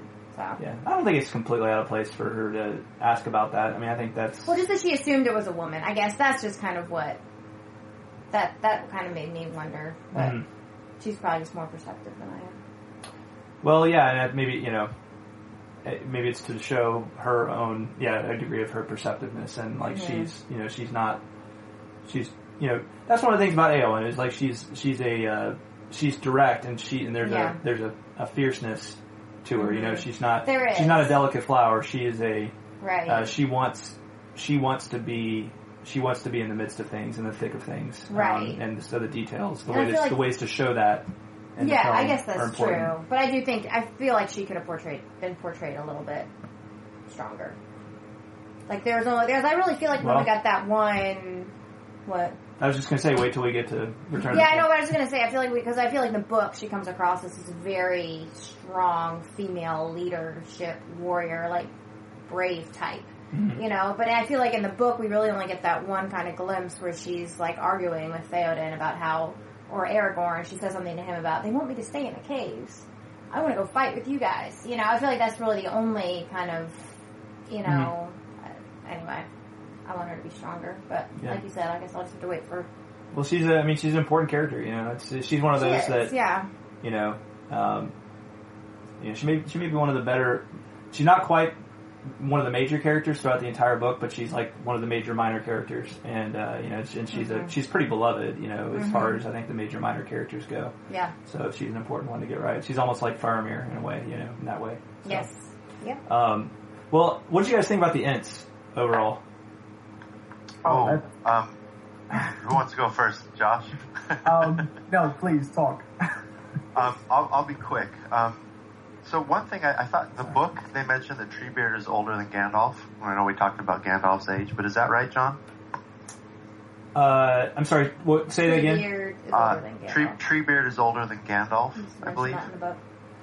Not sure if it talks about that in the book or not. I think it talks about that he knows Gandalf and Saruman from ages ages back, um, from time immemorial. But I'm not sure if they compare ages of the two. Well, I think Okay. isn't isn't Fangorn the first being to be? He's the first being outside of Tom Bombadil in Middle Earth, I recall. Because Yeah, and I, I think he so a too. Maiar of Yavanna? I'm getting my uh, I'm getting my Valar. Oh, if if Fon- I don't think Fangorn is a um, Tree, Treebeard Fangorn is a um, uh, is a Maiar. I think I, I think the Ents. I think what they they mentioned briefly in the film about the Ents being awoken by the elves and taught Mhm. taught to speak and that kind of thing. I think that's I'm fairly certain that's in the book. Well, um, in Okay. because in in Silmarillion they are they are the direct contrast of the dwarves. Yeah, True. I, I, Aule creates the doors and Yavanna creates the Ents, and she says our two children will never mix. Mhm. And then I believe that Fangorn mentions that he's one of the he is one of if not the earliest being in Middle Earth, and he's seen the forest recede back to you know where it is now, and the old forest by the Shire is a remnant of what was. Hence, why there's certain beings there. Well, it definitely, you know, you're, you're absolutely right about that. The Ents aren't mentioned in in chapter two the Silmarillion with Aule and Yavanna, and you know, the Ents are like her response to Aule's dwarves. But of course, the dwarves and the Ents don't. The dwarves, at least, we know, don't necessarily awaken for some time until after the children of Iluvatar. Um, at least after the firstborn, the elves, because that's one of Iluvatar's specific things. Is I won't let them come before the elves, right? My firstborn. Um, uh, and I think so. I think probably maybe maybe you can apply that the same thing would be said of Yavanna and her her sub creations. You know, when it comes to um, uh, you know the being being a being kind of the opposite of the dwarves in that way. But that's I'm glad you brought that up. Just remembering that in the um, uh, you know, and when Gimli walks into the forest with his axe and everything, and he's like, Aragorn's like, put away Yeah. your axe. um, that's that's funny to remember that because you know of that pitting that they they were really two like polar opposite creations, sub creations of the Valar. Aule creates the dwarves, Yavanna creates the Ents in response. Yeah. Um, well, and I just wanted to ask while I while I was able to talk to both of you guys because you're such experts on it. But the um, the the thing that I really didn't like about the Ents was um, when they're walking through the forest and um, they're talking about the Entwives, and um, I think it's Merry and Pippin are asking Treebeard about the Entwives, and Treebeard's like, "Oh, we forgot them," and it's like, why, why, why even put them in and mention them if you're going to just say, "Oh, we forgot them," and they, you know, because they they would go out and look for them, and they they're they're very much aware of of the Entwives still, Mm-hmm. but um, it was a, it was another one of those odd choices where it was almost like a throwaway line of dialogue in the movie. So I thought, well, if you're gonna include them, why kind of betray the the book if you're gonna put them in? Mm-hmm. You know, mm-hmm. Well, isn't he referring? He's referring to he forgets what they look like. I think. He Yeah, goes- that's what they look like, and I think he says that we lost them. yeah. That's what he says. We lost them. then he asks Merry and Pippin, "Have you seen them in, in the Shire?" And they're Yeah. like, "Yeah, I don't think so." But yeah, they forget But what do they they look? look but what like. do they look like? And Yeah. he's like, I've forgotten. Yeah. Because it's been, I think it's been so. I feel like that's in the book, isn't it? I think. Well, it's, it's definitely condensed in the movie. Yeah. I- Well, no, I no, no doubt, no No, doubt. th- there's a there's a poem in the book about Yeah, there is. Yeah, I was hoping that they were going to include that. Well, I think they included little bits, little bits of it. Oh, did right? they? Yeah, he, he's kind of singing to them, like in that scene. He's kind of Treebeard's like singing, Oh, and is um, that what he's singing about? and he's. I think it's little snippets of that. oh, okay, okay. I didn't pick Okay. up on I that. th- you know, I thought. I mean, you're not going to do a big scene on the Entwives in the movie because there's it's They don't really it's a, factor it's a in. very it's Yeah. definitely not popcorn you know popcorn fare, but um, Sure. Yeah. But like, I thought, I actually, I actually kind of appreciated the way that they handled that. Um, you know, in, at least referring to it uh, in, a, in a passing reference as they're Mhm. traveling. You know that uh, these Entwives are a real thing, and you know, this- and, and just kind of that longing, um, which I think captures well what it is in the book. It would have been, it would have been extremely cheesy for like there to be a reunion of. Treebeard and Entwife at the end of a mo- at the end of one of these movies or something like that. Like, oh, the happy ending. Like, no, that's Yeah, you know. So at least Jackson it's true. I, that I, I, I like yeah. I kind of like the way he handled that, but yeah, yeah. uh, uh, I I felt like I felt like the Ents overall were were, were okay. I felt like the um, I felt like he I felt like they were a little too humorized, if you know what I'm saying. Like yeah. Yeah. um, I feel like in the book, kind of like it's it's to a lesser degree what happens to Faramir, but like um, the Ents are in in the book. The Ents are funny, but not because they're written funny, but because they're just they're odd. They're so odd compared to our reality, right? I mean, here they are, these talking trees that have existed forever, and uh, and the factors of, of a society that would be like that are funny because it's so different from the way human society is. Like, you know, we can relate a lot more to Hobbit society or to Gondorian society or even to Elvish society than we can to the society of, uh, you know, Ents, to like a culture of Ents. Yeah. And I feel like that in the book they're a little bit, Treebeard is maybe a little bit too much of a, um, he's a little, he almost feels a little dim-witted rather than just slow as, as a, as a, as an Ent would, you know, and I don't even like the word slow, like, Well, I don't their, know, their just- time scale that they, they experience time on such a different Yes. scale Yeah. Mhm. than we do. That's that's what makes them interesting. But Mm-hmm. yeah, it does. They, they that comes across as like a an inability to grasp the present, which I think makes them look kind of dumb. And Mm. I I don't I, I didn't I didn't care for that portrayal either. I guess. Yeah. Yeah, I, I um, uh, you know, I, I, I didn't like that, and, and I read somewhat why Jackson did this, but you know, in the book, Treebeard, they after they have their Entmoot, they're like, okay, we're going, time to go fight, They right? didn't actually decide. I, I mean, They're they're like, That it's time was- to go fight. Like in the book, they're like, after they have their oh yeah, in the book. Yeah, I mean the movie that was a little yeah, they they said, oh, we're not going to go fight, it's not a problem. right. Exactly. And then, and then Merry and Pippin have to come to the rescue to get them to go see what he's done, so they know it's their problem. right. But in the book, like that's not in the book, and Right. um, uh, so you know, again, like I feel like that takes Treebeard from the way Tolkien wrote him down a notch a little bit. You know, he's Mm-hmm. um, he's not quite. It's kind of like what happened with Faramir, right? He's not quite the same character Right. that Right. he is in the books. It, Yes. It's it's not as it's not as uh, egregious a distortion as I feel like it is with Faramir, but it's it's still a problem. I feel like, um, and I think the reason Jackson or his fellow writers said they did that was because it it makes Merry and Pippin uh, they felt like they were luggage otherwise. You know, They want to give them more of a purpose. They want to give them more of a. Mm-hmm. purpose and all of that in in this film. Um, I will say though, I thought Treebird, I, I Treebird, Treebeard, um, I did I understand like your little quibbles with him, but I real I liked the way he was done. Like I thought he was very. Mm-hmm. I think liked- the visual is pretty cool. Yeah, the visual Yeah. really good, and I just felt like he was. Besides the whole thing about deciding not to go to Isengard in the first place, um, I feel like he's portrayed as very lovable and endearing. Mhm. Like you just kind, of, I wanted to hug him.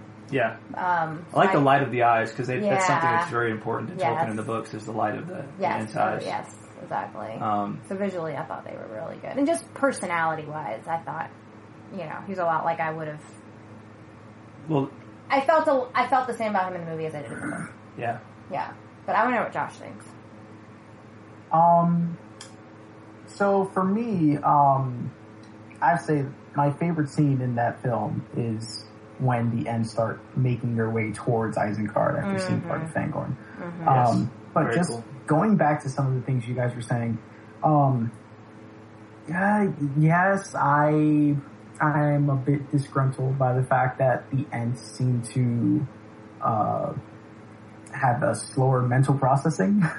um, you know, it's it's interesting when you when you read these type of characters in fantasy and in fiction that um, they do experience time differently. You know, uh, like I've read the whole Percy Jackson series, and there are tree spirits who, uh, you know, they fall asleep for years. Why? Because they're trees, and trees can grow for years on end. And so, uh, when another character is taking a nap for a month, you know, they're wondering why they weren't woken up.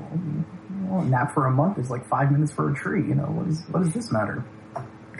Um, so yeah, it's a little, it's a little, mm, you know, it doesn't really do the Ents justice to have them be so slow processing.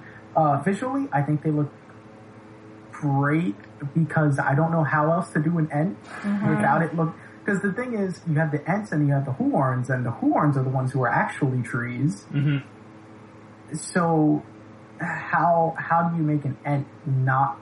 How do you make an Ent look less of a tree without sort of without making it some sort of like golem figure or something like that? Something that just looks like uh, animated dirt, uh, reanimated dirt. Mm-hmm. Um, I think though, I'm perfectly okay with how the Ents were in the film, uh, in terms of their Entmoot and uh, their uh, indecisiveness to fight or to go to war, and because it's yeah, Jackson wanting to not make Merry and Pippin luggage. Well, he's he did that for most of the film. Why stop there at that point? But um, I I have a lot of issues. Like if there's if there's a reason why some of the things from the novel Return of the King didn't happen, it's because you know Aragorn fell off a cliff and he spent 50 minutes walking back, or you know you had all these little things with Merry and Pippin going on. They wanted to get stuck in Old Man Willow. Why that was even there is beyond me. um, but I was I was okay with it because it's you're forcing the realization onto certain characters that there is a need to uh, strike back at injustice, and it's a Yeah. you know it's a great scene when it happens. Um, and my why I like them refusing and then being thrusted into the battle is the same reason why I dislike uh, the elves coming to help out at Helm's Deep. Because in the novel that doesn't happen. Yeah. which is not it's not one of those oh it doesn't happen in the books but uh, for me it lessens the significance of men fighting orcs alone and this is you know you're you're uh, professor tolkien's leading up to this age of men where men are going to rule and if you have the elves come in you know he's he's trying Yeah, that's uh, a good point. Yeah, the, like P- PJ was trying to bring back the uh, the old alliance, which is great, but you already have that because the Fellowship, whether they are together or not, they represent all of the major races throughout Middle Earth. And so, you know, when you include the Ents into that, sure, that's like you're getting to find a little touches in there. You know, uh, these guys are going to be important in their own way. Uh, the elves are all important. Why? Because the elves are leaving. You know, they've come to their own realization that their time is ended. They're going to go back. Um, and so it just, I, uh, I love the guy who plays, uh, Haldir. I can't remember his name right now. Um, but it just seemed like he killed him for no reason. I know, I know. It's like why did he have to? Why did he have to die, Peter? Like Um, Yeah. no, I mean, it's, it, it is really, you know, it's sort of like, um, eh, it's similar to like, uh, Craig Parker. Yes. Parker. Oh God, he's he's great as Spartacus. Um, it it's it's like the Battle of Thermopylae. If you're aware of that, if you've seen the 300 film, Long the time ago. 300 film does something that's it's the opposite. In the 300 film, it's just the 300 Spartans. Um, historically, that's not true, and the film does an injustice to history and to the people who fought in that battle because it's not just 300; it's about 5,000 different soldiers from all these different uh, Greek city-states and all this stuff. And you're in the film. You're taken away from the fact that men can do this on their Yeah, own. Yeah, it's like oh Yeah. oh the elves are here now, so now now we can feel a little better about the situation, and it's like no, this is they Yes, weren't there. you- Mm-hmm. I, I mean, and sure, the numbers are far just just ridiculous in the film. Mhm. You know, it, it, I mean, again, it is like 300 men against 10,000 orcs, and I, I don't even think in the novel they give you an, an, an estimated number. They just say there's this massive army, Mm-hmm. defend it, you know, defend against it, and so Mm-hmm. I think it, I think it take it, uh, I think it takes away from uh, the strength of men in that film that you then get in Return of the King, and in Return of the King, it's fantastic, you know, with the Battle of Pelennor, and then uh, the battle at the Black Gate, you know, Right. yeah, Yeah, the, the um, I, so on the on the note of the Ents and the in the final the final scene, the March of the Ents. Um, I love, yeah, that that that to me is worth highlighting, like the portrayal of the Ents storming Isengard and pulling down um, the dam. Um, the baptism. yeah, the love. Yeah. I you know I thought that was extremely well done. I love I love the vari- how they they captured well the variety of the Ents and you know each of them kind of representing a certain type of tree. Um, Yeah. I thought they did that extremely well in the way they showed they depicted the Ents Mm-hmm. um, visually. But just that that's a great and awesome scene where they're you know just. I love seeing Saruman come out like on his tower and looking around like, uh oh, this was I had not calculated for this. you know, just the look in his eyes of like utter terror, like this this was not supposed to happen. Um, and you know, seeing that realization in his eyes and that comeuppance for him, um, and the Ents just like going, you know, here they've been kind of these slow, almost like super peaceful creatures this whole movie, and then like all of a sudden they're just like, it's it's it's time for vengeance, you know, like ven- vengeance has come upon you, and and the way they just they overrun Isengard and Yeah, you know just great. destroy all the all the forces, and it's just like Mhm. you know it's it's beautifully It is beautifully re- done. that is that was very well done. Yeah. Um, and I got one, just one gripe. This is, and this is from again the extended scene. Uh, when the orcs are going back over the hill from Helm's Deep, there's a scene Mhm. where they're all running into the forest, and Gandalf is like, you know, wait, hold up. There's no need to pursue them any further. And you see, uh, you see signs that the orcs are being attacked in Fangorn Yeah. Forest. Mm-hmm. Um, I, I didn't like that. Uh, I watched that scene separately and, um, I thought, for one, there, the beautiful shot of the orc going over the hill and you're looking back at, uh, and you're looking towards Helm's Deep rather, and you know, the light shining. I mean, it's a, it's a transcendent scene. Mm-hmm. And then you're, you're taken into Jurassic Park where the trees are just moving all over. I mean, that's, I wrote that down. I was like, oh, it looks like something out of Jurassic Park.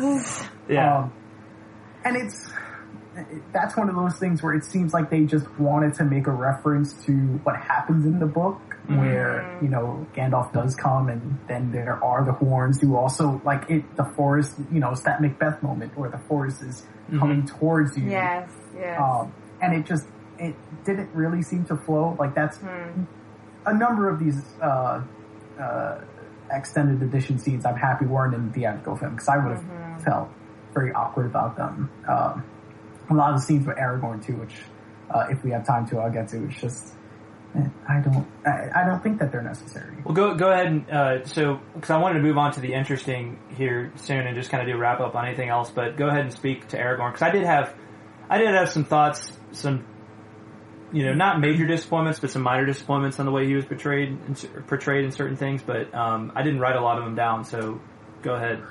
Um, so I mean, I I I remember you guys spoke about. I remember Greta spoke about this actually. Uh, was uh, she had a really strong opinion on Viggo Mortensen's uh, Aragorn. Yeah, when we did the Fellowship review. and- Is that you uh, mean when we did the yeah. Fellowship review? Yeah. No, I was. Yeah. Yes, I did. You're right. Good Um, memory. And, and I agree with that. You know, he's a little bit too moody. He's a little bit too doubtful of his own strength, uh, which is not something you get in the novel. Um, my my problem, and this is the problem I have with the Two Towers. There's not uh, there's not a lot of context for certain things that go on or things that are said, um, and just things that are in the theatrical and in all the versions. Uh, something like the rope that Gollum's using to uh, the rope that Sam's using to Mhm. hold Gollum. You know, if uh, there's no reference to that in the theatrical version of Fellowship of the Ring, where Sam gets the rope from, you don't understand. You know, you kind of. It's one of those things that, yeah, of course, Gollum would be complaining. You know, he's he, he's proven himself to be nocturnal. What's going to happen when he, you know, he thinks he's gone through tons of mental changes. You know, he thinks he's a goblin, and of course, the sun's going to hurt him.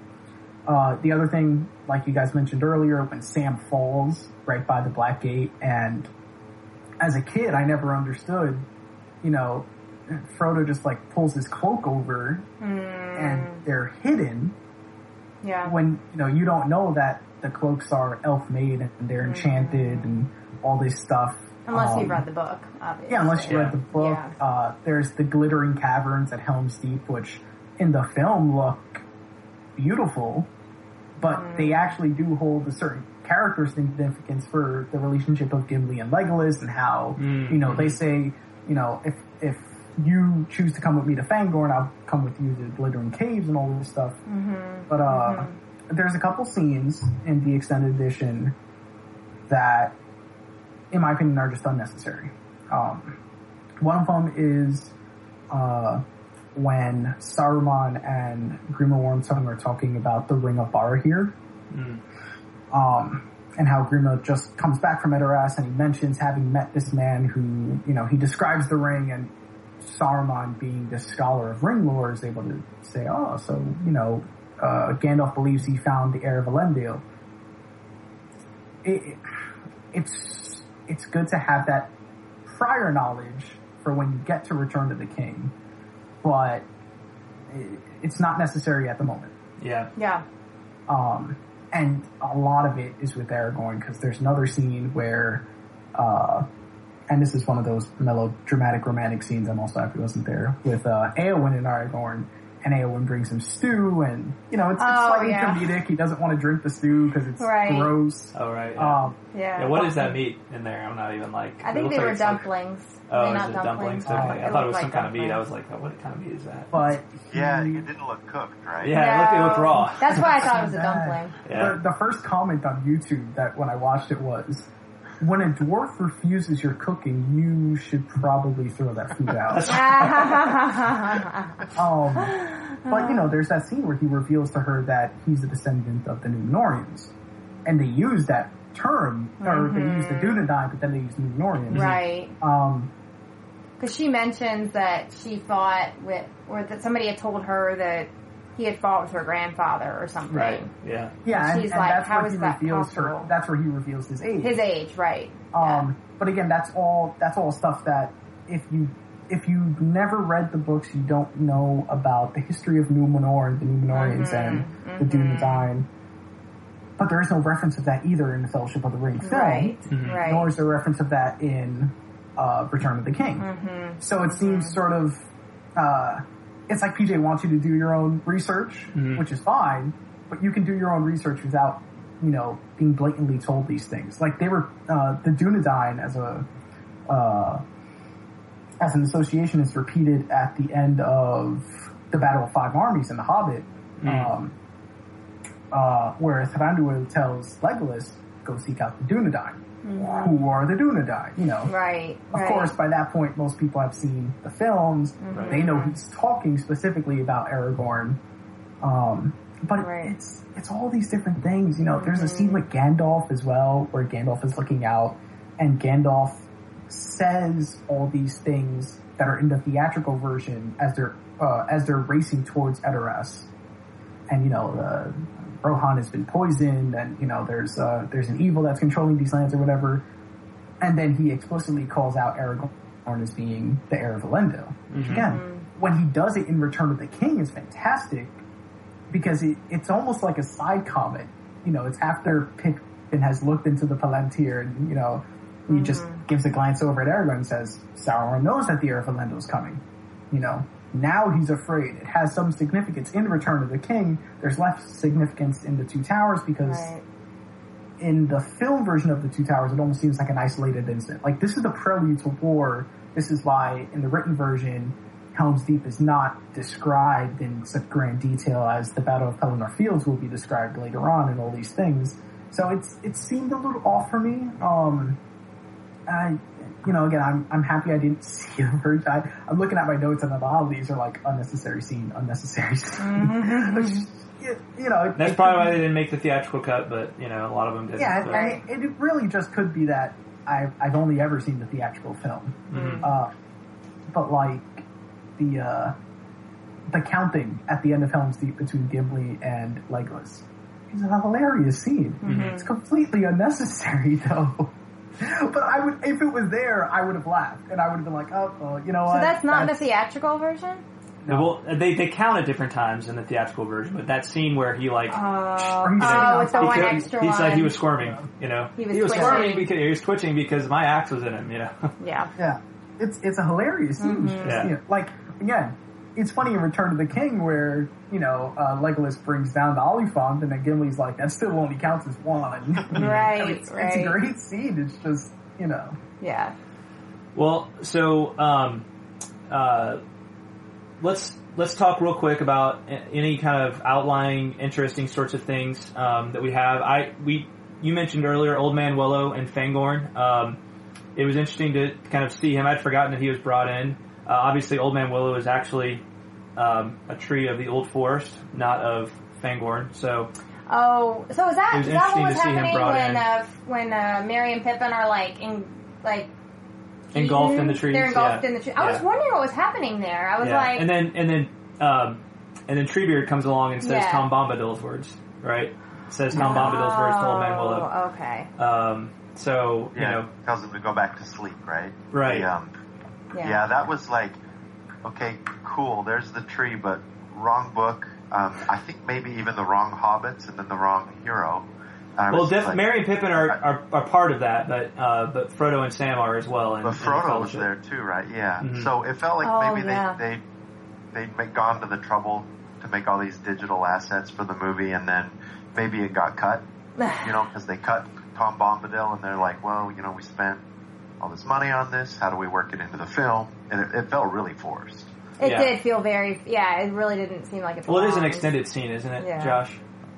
Is it- Yeah. Uh, Old the Man Old Man Willow Willow. scene. Yeah. Yeah, Oh, okay. yeah. So I can see why they left that one out. Um, it was, I mean, it's a little fun to see it, I guess, but and see it, at least some It was just aspect really of of the place. of the Tom Bombadil Yeah. Old Forest stuff portrayed, but um, you know, it wasn't. Yeah, it was kind of out of place. Um, Yeah. the Gollum split personality scene.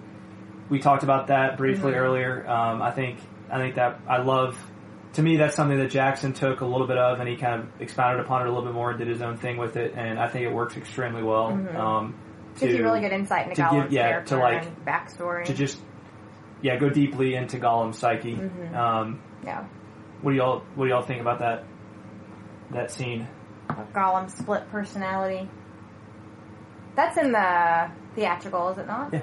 Yeah. Uh, that's a great scene. Yeah, Um, that is that's probably one of the best scenes I think in that film, um, along with the very end where Frodo, Sam, and Gollum are walking, uh, and they're walking towards uh, Minas Morgul, Mhm. and you know they're they're they're having dialogue that I think happens much earlier in the book. Uh, I think the dialogue that they're having happens before Faramir captures them, and it's about uh, uh, Sam wondering if they'll ever make stories about. Oh, Frodo and right, right, like right, yeah. And it happens in the book. It happens much earlier, but I think I like it a lot more where it happens here, Mhm. Mhm. um, because it's it's that last bit of hope that you have um, right before, if you were to watch all these films chronologically, right before you get to Return of the King Mhm. um, you know, and, and there is a bit of hopefulness, and there's uh, there's some humor, you know, and there's uh, an intense amount of respect, and then uh, the last person who has any dialogue is Gollum, and Gollum has you know very ominous words, and you know throughout the Two Towers film, uh, I, I sort of think that that's like the love the the love letter to Gollum. Because Yeah. you're you're you're seeing like he's the character who gets the most development during that film.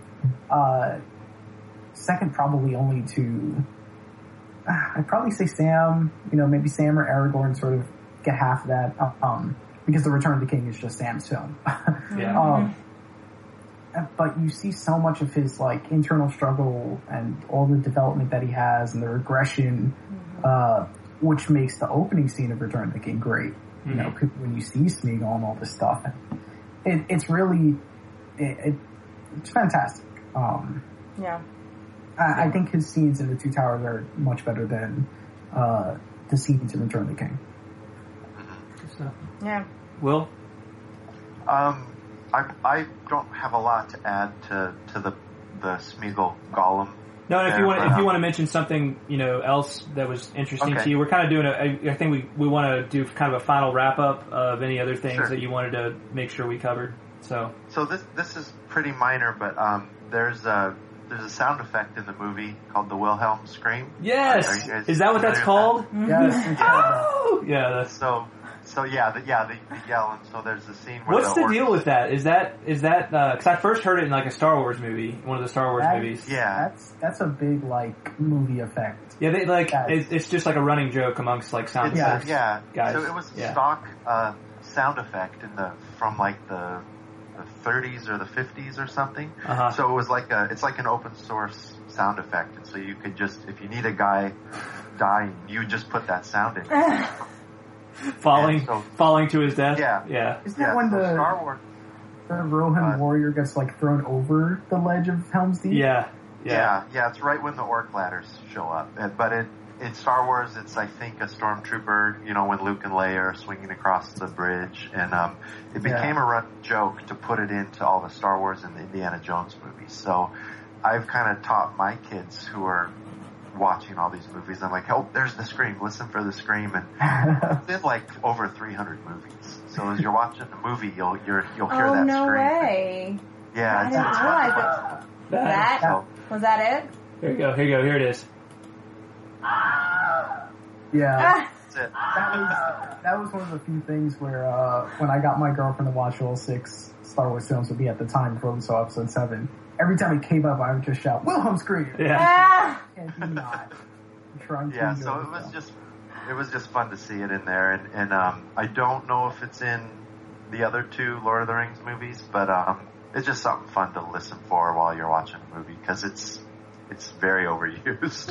it's an inside film joke. That's really I- I interesting. I, definitely didn't picked know up- it had a name. I, I I thought after you know a few years ago after hearing that again in a movie I was like I've heard that in like every movie I wonder if it's some kind of like running joke so it's good to know what that's actually called Wilhelm, name for the guy that created it. I'm assuming, uh maybe. it first appeared in 1951 for the film Distant Drums the Wilhelm scream is often used when someone is either falling it doesn't say who it was made for but uh, Oh, okay. hold on there's a Wikipedia article about it Oh, okay. Uh, it's really not that big a says- deal. Named after Private Wilhelm a character in the charge at Feather River Oh, a 1953 western. yeah so I didn't realize it went back that far wow I thought it actually originated in Star Wars that's interesting Well, Will Yeah. said it was either from the 30s or 50s. Yeah. So he was right. 50s. It, it was a ways back, but um, Mhm. it's just it's a fun thing to Mhm. listen for. watch the movies, Absolutely. No, it that's cool. Yeah. It just you won't popped up and- in some of the things that you'll hear it in. Yeah, You're just like, yeah. oh wa- wow, that's a Wilhelm scream. Okay. uh, that's awesome that's awesome Oh, That's great. What else? What other final wrap up items we want to mention that we haven't said anything about yet? Um, again, this is like kind of minor, but when um, when Aragorn and Gandalf and Gimli and Legolas arrive at Edoras, and Hama is like, you know, kind of being the, the bodyguard and like, Uh huh. you know, trying to protect Theoden or whatever. There was not much of a standoff No. there in the movie, and I kind of wish there had been more to Yeah. that. Because I thought that was a, one of a very enjoyable scene for me in the little, book. little about more Hama's- development for Hama. yeah, exactly. More development for Hama. Yeah, that's what I would have liked to have seen that. But I mean, it was fine. I can I- see why they left it out. That's a good point. I mean, yeah, I can see why they did, but uh, but yeah, Hama Hama definitely is a little bit more developed in the book, and uh, yes, he's more. he's of a not he's not a major character, but uh, Yeah. he's not even a major minor character, but he's a kind of a medium minor character, I guess. You know, he's not Medium he's not just character. he's There not you go. background. He's got a Right. he's got an interesting little uh, few episodes there. So yeah, Yeah. would like Yeah. to see. He was at least in the movie. At least they actually had Yes. him cast in the movie. Yes. So Uh, yes, that's true. That's true. It could have Yeah. been worse. Yeah. Will or Josh, any other final thoughts? Um. Oh God. Final thoughts. Well, then I'll I'll say two, two things, which uh, Josh Josh uh, still has like a, a huge list. I know. We'll have to give John like so- yeah, Josh's well, own 'cause the- episode. The problem is I, I have like uh, these things that I remember very late in the game, and I'm like, oh, we're not going to talk about this now, so I'll just leave this open to interpretation. Um, I I don't think that they could have done the film any other way. Uh huh. Um, and I say that because yes, there is a whole part of the Return of the King, the book that we don't get uh, in cinematic form, and I, I I don't think it could have been done without uh, without probably having three four hour films, uh, and even then cutting out all cutting out all the unnecessary stuff to sort of add more things from the book. Um, so it's it's disappointing that because of how, and it's really just uh, on on fault, quote unquote, of this film, that we don't have a lot of things that come out later in Return of the King. You know, we don't have the whole scourging of the Shire, and we don't Mhm. have uh, uh, uh, the touch of the King. You know, when when Aragorn goes and visits the sick and he heals them House of progressively. Healing, yeah. Yes, there you go. Um, and it's a shame we don't have them, but it, everything ends up working out. You know, Mm-hmm. um, it's it's it's the lack of those story elements that prompt you to go read the books. Yeah. So True, I'm true. I'm okay with that. Yeah. Uh, the other the other thing is I I've gone back and forth on which pairing of towers as an interpretation I enjoy more because I know Professor Tolkien had his own that he you know he spent decades deciding on which he thought were uh, proper for the novel and I know PJ has a certain interpretation as well and I would like PJ's interpretation if the story of Saruman was more of that in the book than how he is portrayed in the film. Because in the film, he's just a glorified servant. Yes. in the book, he does have his own. Good point. We we didn't we didn't mention that yet, and yeah, Saruman is uh, continues to be just a uh, one of maybe a major pawn, but one of Sauron's pawns. You know, he's subservient Yeah. to Sauron, whereas in the book, he he's trying he's playing he's trying to set himself up as an alternate Sauron, which is important because that's one of the whole that's one of the deep themes of the Lord of the Rings is the struggle the struggle for power and the like wanting to be in control and be one of the mighty. And Saruman's fall is not that he just becomes he decides to go from serving God to serving the devil. It's that he says well I can I can pit myself against the devil and set myself up as a great power. Um, but that's his fall that that is his actual fall and that's a much more subtle form of evil but it's also a much more realistic form of of evil you know that's Yeah. that's more true to the human condition right like right. Right. what we actually do no, absolutely. Anyway, I kinda don't want to steal, I- steal your thunder, Josh. Go ahead. No, no, but you know, so I like. I think I like PJ's interpretation of uh, the two towers being uh, Orthanc and Barad-dûr, but it it just doesn't end up working with the story that he was telling. Mm-hmm. uh, or it doesn't end up working as best. You know, it, it works because what he's saying is there is a union, which is something that Saruman himself says in the film. It's a dialogue. Uh, there's a union of these two towers, and that works. I think that you know uh, how Professor Tolkien writes it might have been a different story, and still using those two towers because there's a there's a rivalry. There's a competition that Sauron doesn't see Mm-hmm. and that Sauron is trying to instigate, and then you know we know how that all flies out. But uh, no, you know, then I go back and I, you know, oh, maybe it's Minas Morgul and it's Minas Tirith and all this stuff, and it makes sense. Or or uh, Isengard, Minas Morgul, you know. It, it makes sense because then you have like there's two stories being told. There's a story against Orthanc, and then there's a story leading towards Minas Morgul. And I think we talked about this in one of our episodes uh, on the Two Towers. At some point, it came up about like the different the name of the book, and then how there's different ways you can understand what's meant by the name of the book. You know, even I mean, Tolkien may have Professor Tolkien may have had one of his own interpretations, but a favorite interpretation. But there's definitely different ways you can you can look at it. Yeah. So and that's one of the And fun things about the title. Mm-hmm. Yeah. Yeah, Absolutely. and he's got letters. He's got letters talking about why he thinks one pairing is better than the other, and all these different things going on. So uh, that that's it for me.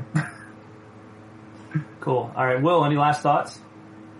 Um, no, you know, this is my first time through the books, and I haven't. Um, I'm just starting on uh, Return of the King, and I'm waiting on uh, Silmarillion, and um, I, I don't. I don't think I can add anything that uh, you all haven't covered and summarized really well. Um, one one thing is I I'm really excited about the um, the new Beren and Luthien book that just came out, and I was reading uh, the preface to your book, John, again, and I was just thinking how exciting that must be for you to have this story come out in the form that it's come out. You know, I think it was just this month, right?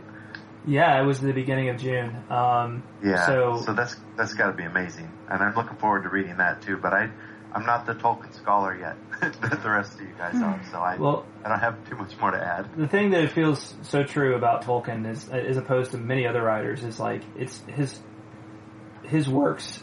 His works are so deep, and all of, and, and even the works that have come after he's uh, he's died are are just so deep. His universe is so deep that it just feels like it's impo- like it's it's almost like um, wrong for anyone to refer to themselves as an expert on Tolkien. Like you could be expert on other things, but Tolkien is just not something you feel. You know, I think much. anybody can rightfully call themselves an expert of. There are probably degrees of like, you know, having knowledge and that kind of thing, but you just you just you continually learn.